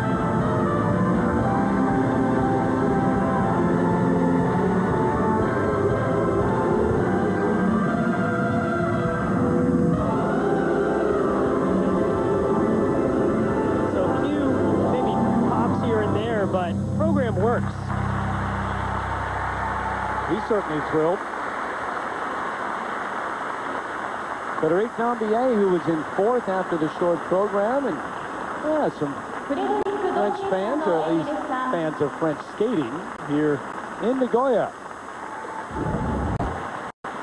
The quad Salchow, the right knee going up in the air, nice tight air position.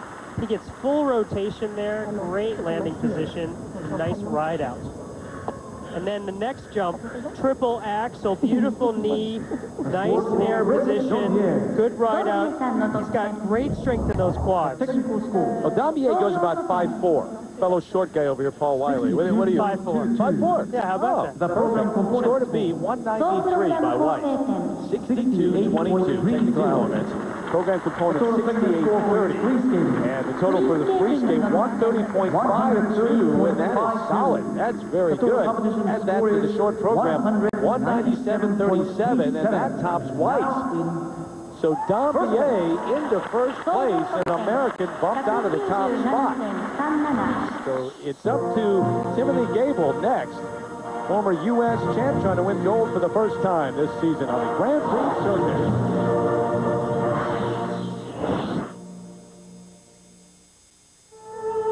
Heading to Beijing next. Forbidden City there. Cup of China presented by Olay as the ISU Grand Prix of Figure Skating rolls on. It's event number four of six. Monday night at 9 Eastern, 6 Pacific. Our coverage gets underway from the Chinese capital. Meanwhile, Tim Goebel gets his chance now talking to Frank Carroll, his coach, and with his season debut about to get underway here, we asked him about having three top Americans in Nagoya. I think that it's really unfortunate uh, that Michael and Johnny and I are competing against each other here uh, because all three of us are such strong international competitors. Odds are one of us is going to get knocked off the podium by the other two. Uh, I know that the U.S. doesn't have a lot of control with the uh, picking the Grand Prix assignments, but it really would have been nice if they could have spread us out a little bit more and, you know, had each of us medaling at, at a different event. But, uh, you know, I think all three of us are strong competitors and all three of us are in really good shape. So it'll, it'll really make for an exciting event.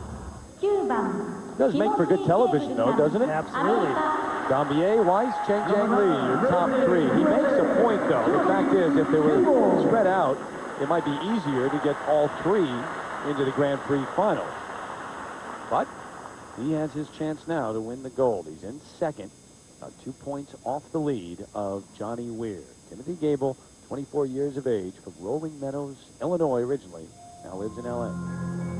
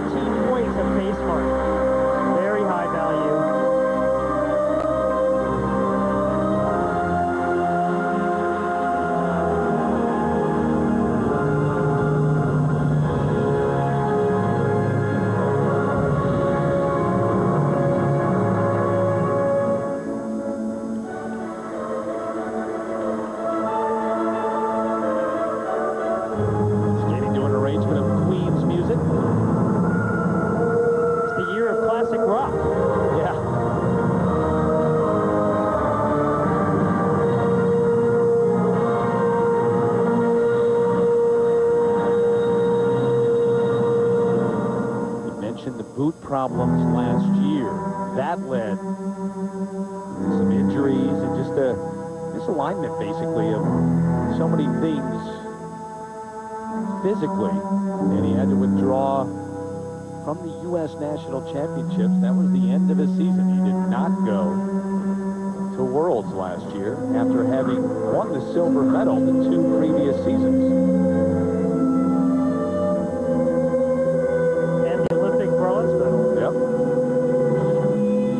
Triple axel. He'll get a bonus for that being late in the program.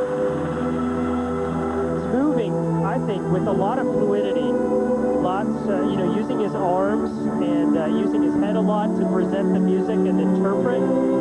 That will not go unnoticed. Using spread eagles like this one to get into a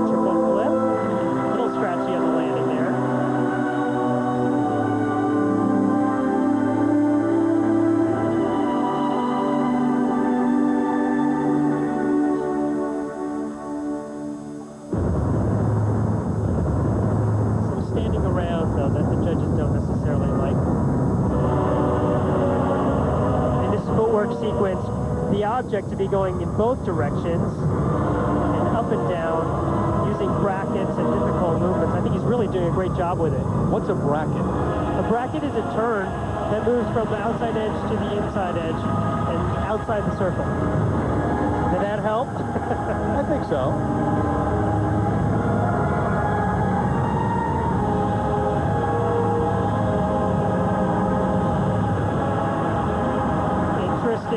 Triple X double toe double loop. Now, it's actually not legal to do three jumps in a row twice in the program. So we'll see what the judges do with that.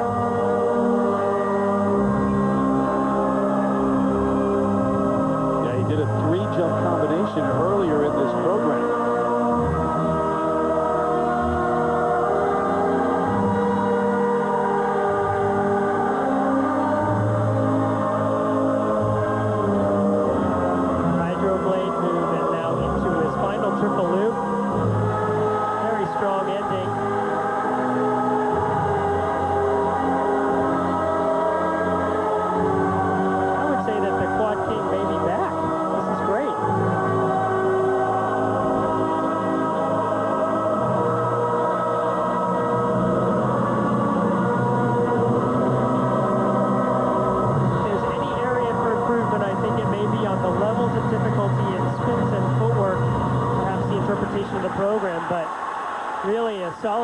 Solid start the season for Timothy Goebel. Well, he got a win at the Campbell's International Classic in St. Paul. There's Johnny Weir. He's about to take the ice. He was watching Goebel skate, but Tim told us he has no real expectations this year except to prove that he is back.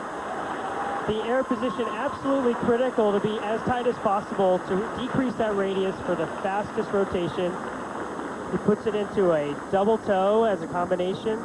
Now Tim gets a great backswing with his arms and free leg. It's a nice tight air position. Solid ride out into the triple toe loop. Very difficult. And then up into a double loop. That a huge score for him. Then the triple Lutz double toe double loop, the second in three jump combination. This one probably going to be deducted from the actual score. Yeah, it doesn't matter how well he did it, but the actual rule book in the new judging system says no more than three jump elements can be combinations or sequences. Only one jump combination can include three jumps. He did two three-jump combinations. So as great as it was, he will get zero points for it, as if he stood there and smiled at the audience. Yeah, remember Johnny Weir talking about the fact that he doesn't pay attention to the new judging system. He just skates. You have to. You have to know the rules. Your coach has to know the rules. The Technical element now 67-18. Remember, Dambier's number to be 197-37. So the free skate total 136.08 and add that to the short program total. Goebel, who was in second after the short, with 208.28, and he's in first. That is the number to beat. So it's up to Johnny Weir, the U.S. champion, an opportunity to win gold, and earlier this week he had a chance to go shopping. Hi, everybody. I'm Johnny Weir, and we're about to go shopping. Okay, that's it. And I want those shoes too.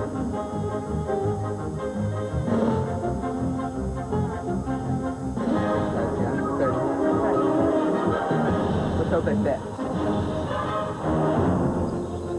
I think maybe they're a little tight, but I love them. Um, I'm going to do a little bit of a, a price conversion.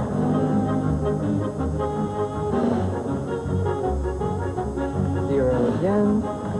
Thank you. Thank you. I'll see you later. Okay. Okay. Bye. Bye. That was a long day of shopping, but I'm ready for more.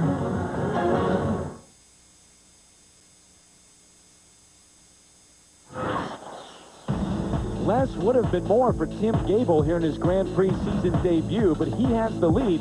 Frederic Dambier from France, he was terrific. He's in second, ahead of American Michael Weiss, who struggled in his race game, but right now is in third. Goebel, the man to beat. And Johnny Johnny Weir takes the ice.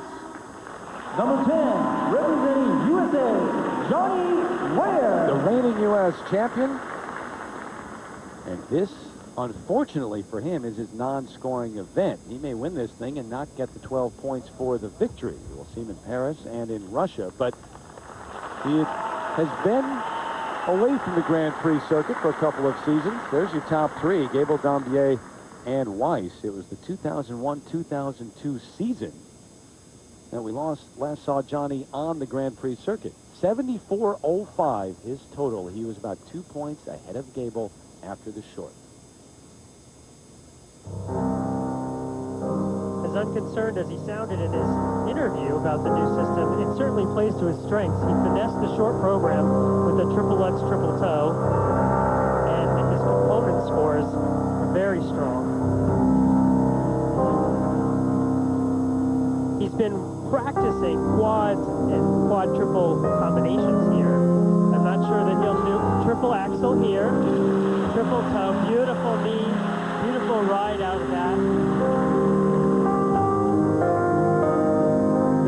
Program. If he were to do the quad, it would be next.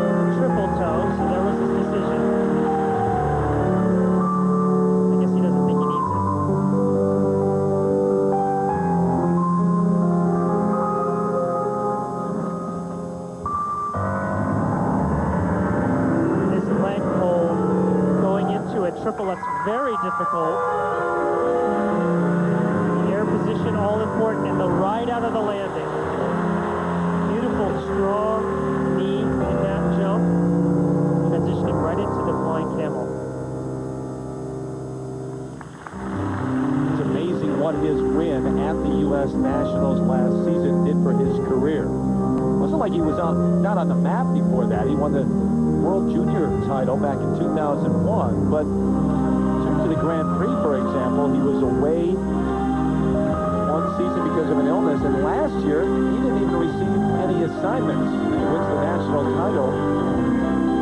Top five finish at the World Championships. Here he is. Another beautiful triple axel there, Terry.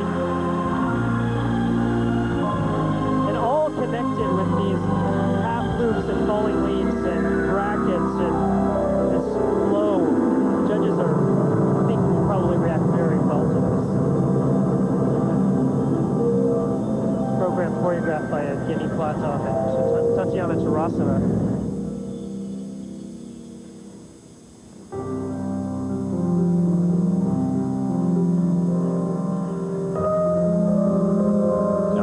the summer training in Simsbury, Connecticut. That's where Tatiana Tarasova coaches.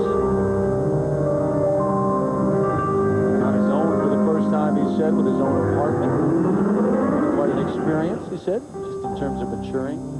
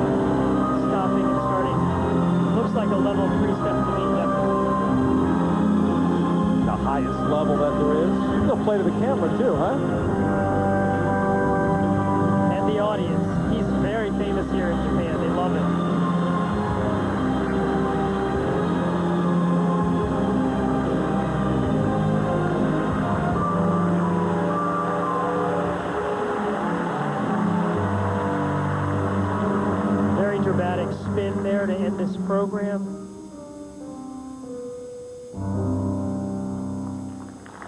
That was just about as good as he could have expected without a quad. Paul, you were a skater who had the whole package, the artistic side, the technical side. It's got to be such an advantage for Weir to know that he's got most of the guys beaten on the artistic side. All he has to do is hit a jump sprint. Absolutely, but then you have to play out on the left side and the right side of your brain as well, and he does such a brilliant job of that. Yeah, make it sound easy. It's not exactly easy, but uh, he's been able to do it, especially since the Nationals. Triple axel, triple toe, just the knee and the height of it, just that ride out and the straight back. He has a bit of a wrap in the air, but otherwise, no problems with that. And then this move, the lift over, change of edge, step over into the triple Lutz. Very difficult entrance. And it's so easy to get forward and slow down and have a scratchy landing, but just with that knee, incredible ride out. The straight line footwork, going both directions, very intricate. Stopping and starting. These are the things that the judges are looking at for that level, the highest level, So the, three. the question is, were the technical aspects of Goebel skating good enough to beat the artistic side of Johnny Weir skating? 208.28. That's the number to beat. So 69.6. So that's a very huge good. score. Look Yeah. at 76.6. To add that together for the total of the free skate 146.20, and that's off the charts. And he knows it. Even without seeing the total, the overall total yet, he knows that that's enough. 220.25. Johnny Weir able to win the gold medal, and he did it because of those program components. Just terrific. Take a look. On every single one of these components, he beats Goebel. Skating skills, transitions, performance execution, choreography, and interpretation. And, and those high sevens are just very difficult to come by in this sport. Gained over seven points just in that part of the skating alone. So the artistic advantage certainly going to Johnny Weir, and he wins the gold medal here, winning on the Grand Prix circuit. What a debut this season. Goebel the silver, Frederic Dambier from France, able to capture the bronze, and Michael Weiss settles for fourth place. So we talked about perhaps a U.S. sweep. Didn't happen here in Nagoya. They'll meet again, don't forget, at the U.S. Nationals in January. Back to wrap things up in a moment. Welcome you back to Nagoya, Japan, the NHK Trophy wrapping up here, and now through three events of six in the Grand Prix Series. Ryan Jahnke still leads with 14 points. Remember, this was a non-scoring event. Poor Johnny Weir doesn't earn the 12 points, but he is with Peter Carruthers. Johnny, this is the first time that you've been on the Grand Prix in two years, and you came in in big style. You won. What was the experience like? Being here in Japan has been wonderful. The audiences have been great. The trainings have been very good, and I'm just feeling a lot of support from everyone, so it's a lot easier to skate well when you have so many people backing you up. Now, you've said the new judging system really doesn't matter to you that much, but you've taken advantage of it. How do you do that? I have no idea. I think maybe it's just catered to skaters who focus on both technical and artistic uh, portions of skating. And um, I think that's why it's uh, been something that causes success for me. Well, congratulations on your win here in Japan. Thank you very much. An early season shot of confidence for Johnny Weir, who will stand on the podium with the gold medal, listening to the U.S. national anthem when we come back. ESPN ISU Grand Prix of Figure Skating, presented by Olay. Brought to you by Olay. Love the skin you're in. And in part by Campbell's Tomato Soup. Possibilities. Johnny Weir, the U.S. champ, on the top step of the podium. His first ever gold medal in the Grand Prix Series. Standing right next to Tim Goebel, who captured the silver medal here, and we've just learned that Goebel plans to leave his coach Frank Carroll and go to Virginia to be coached by Audrey Weisiger. More on that next week.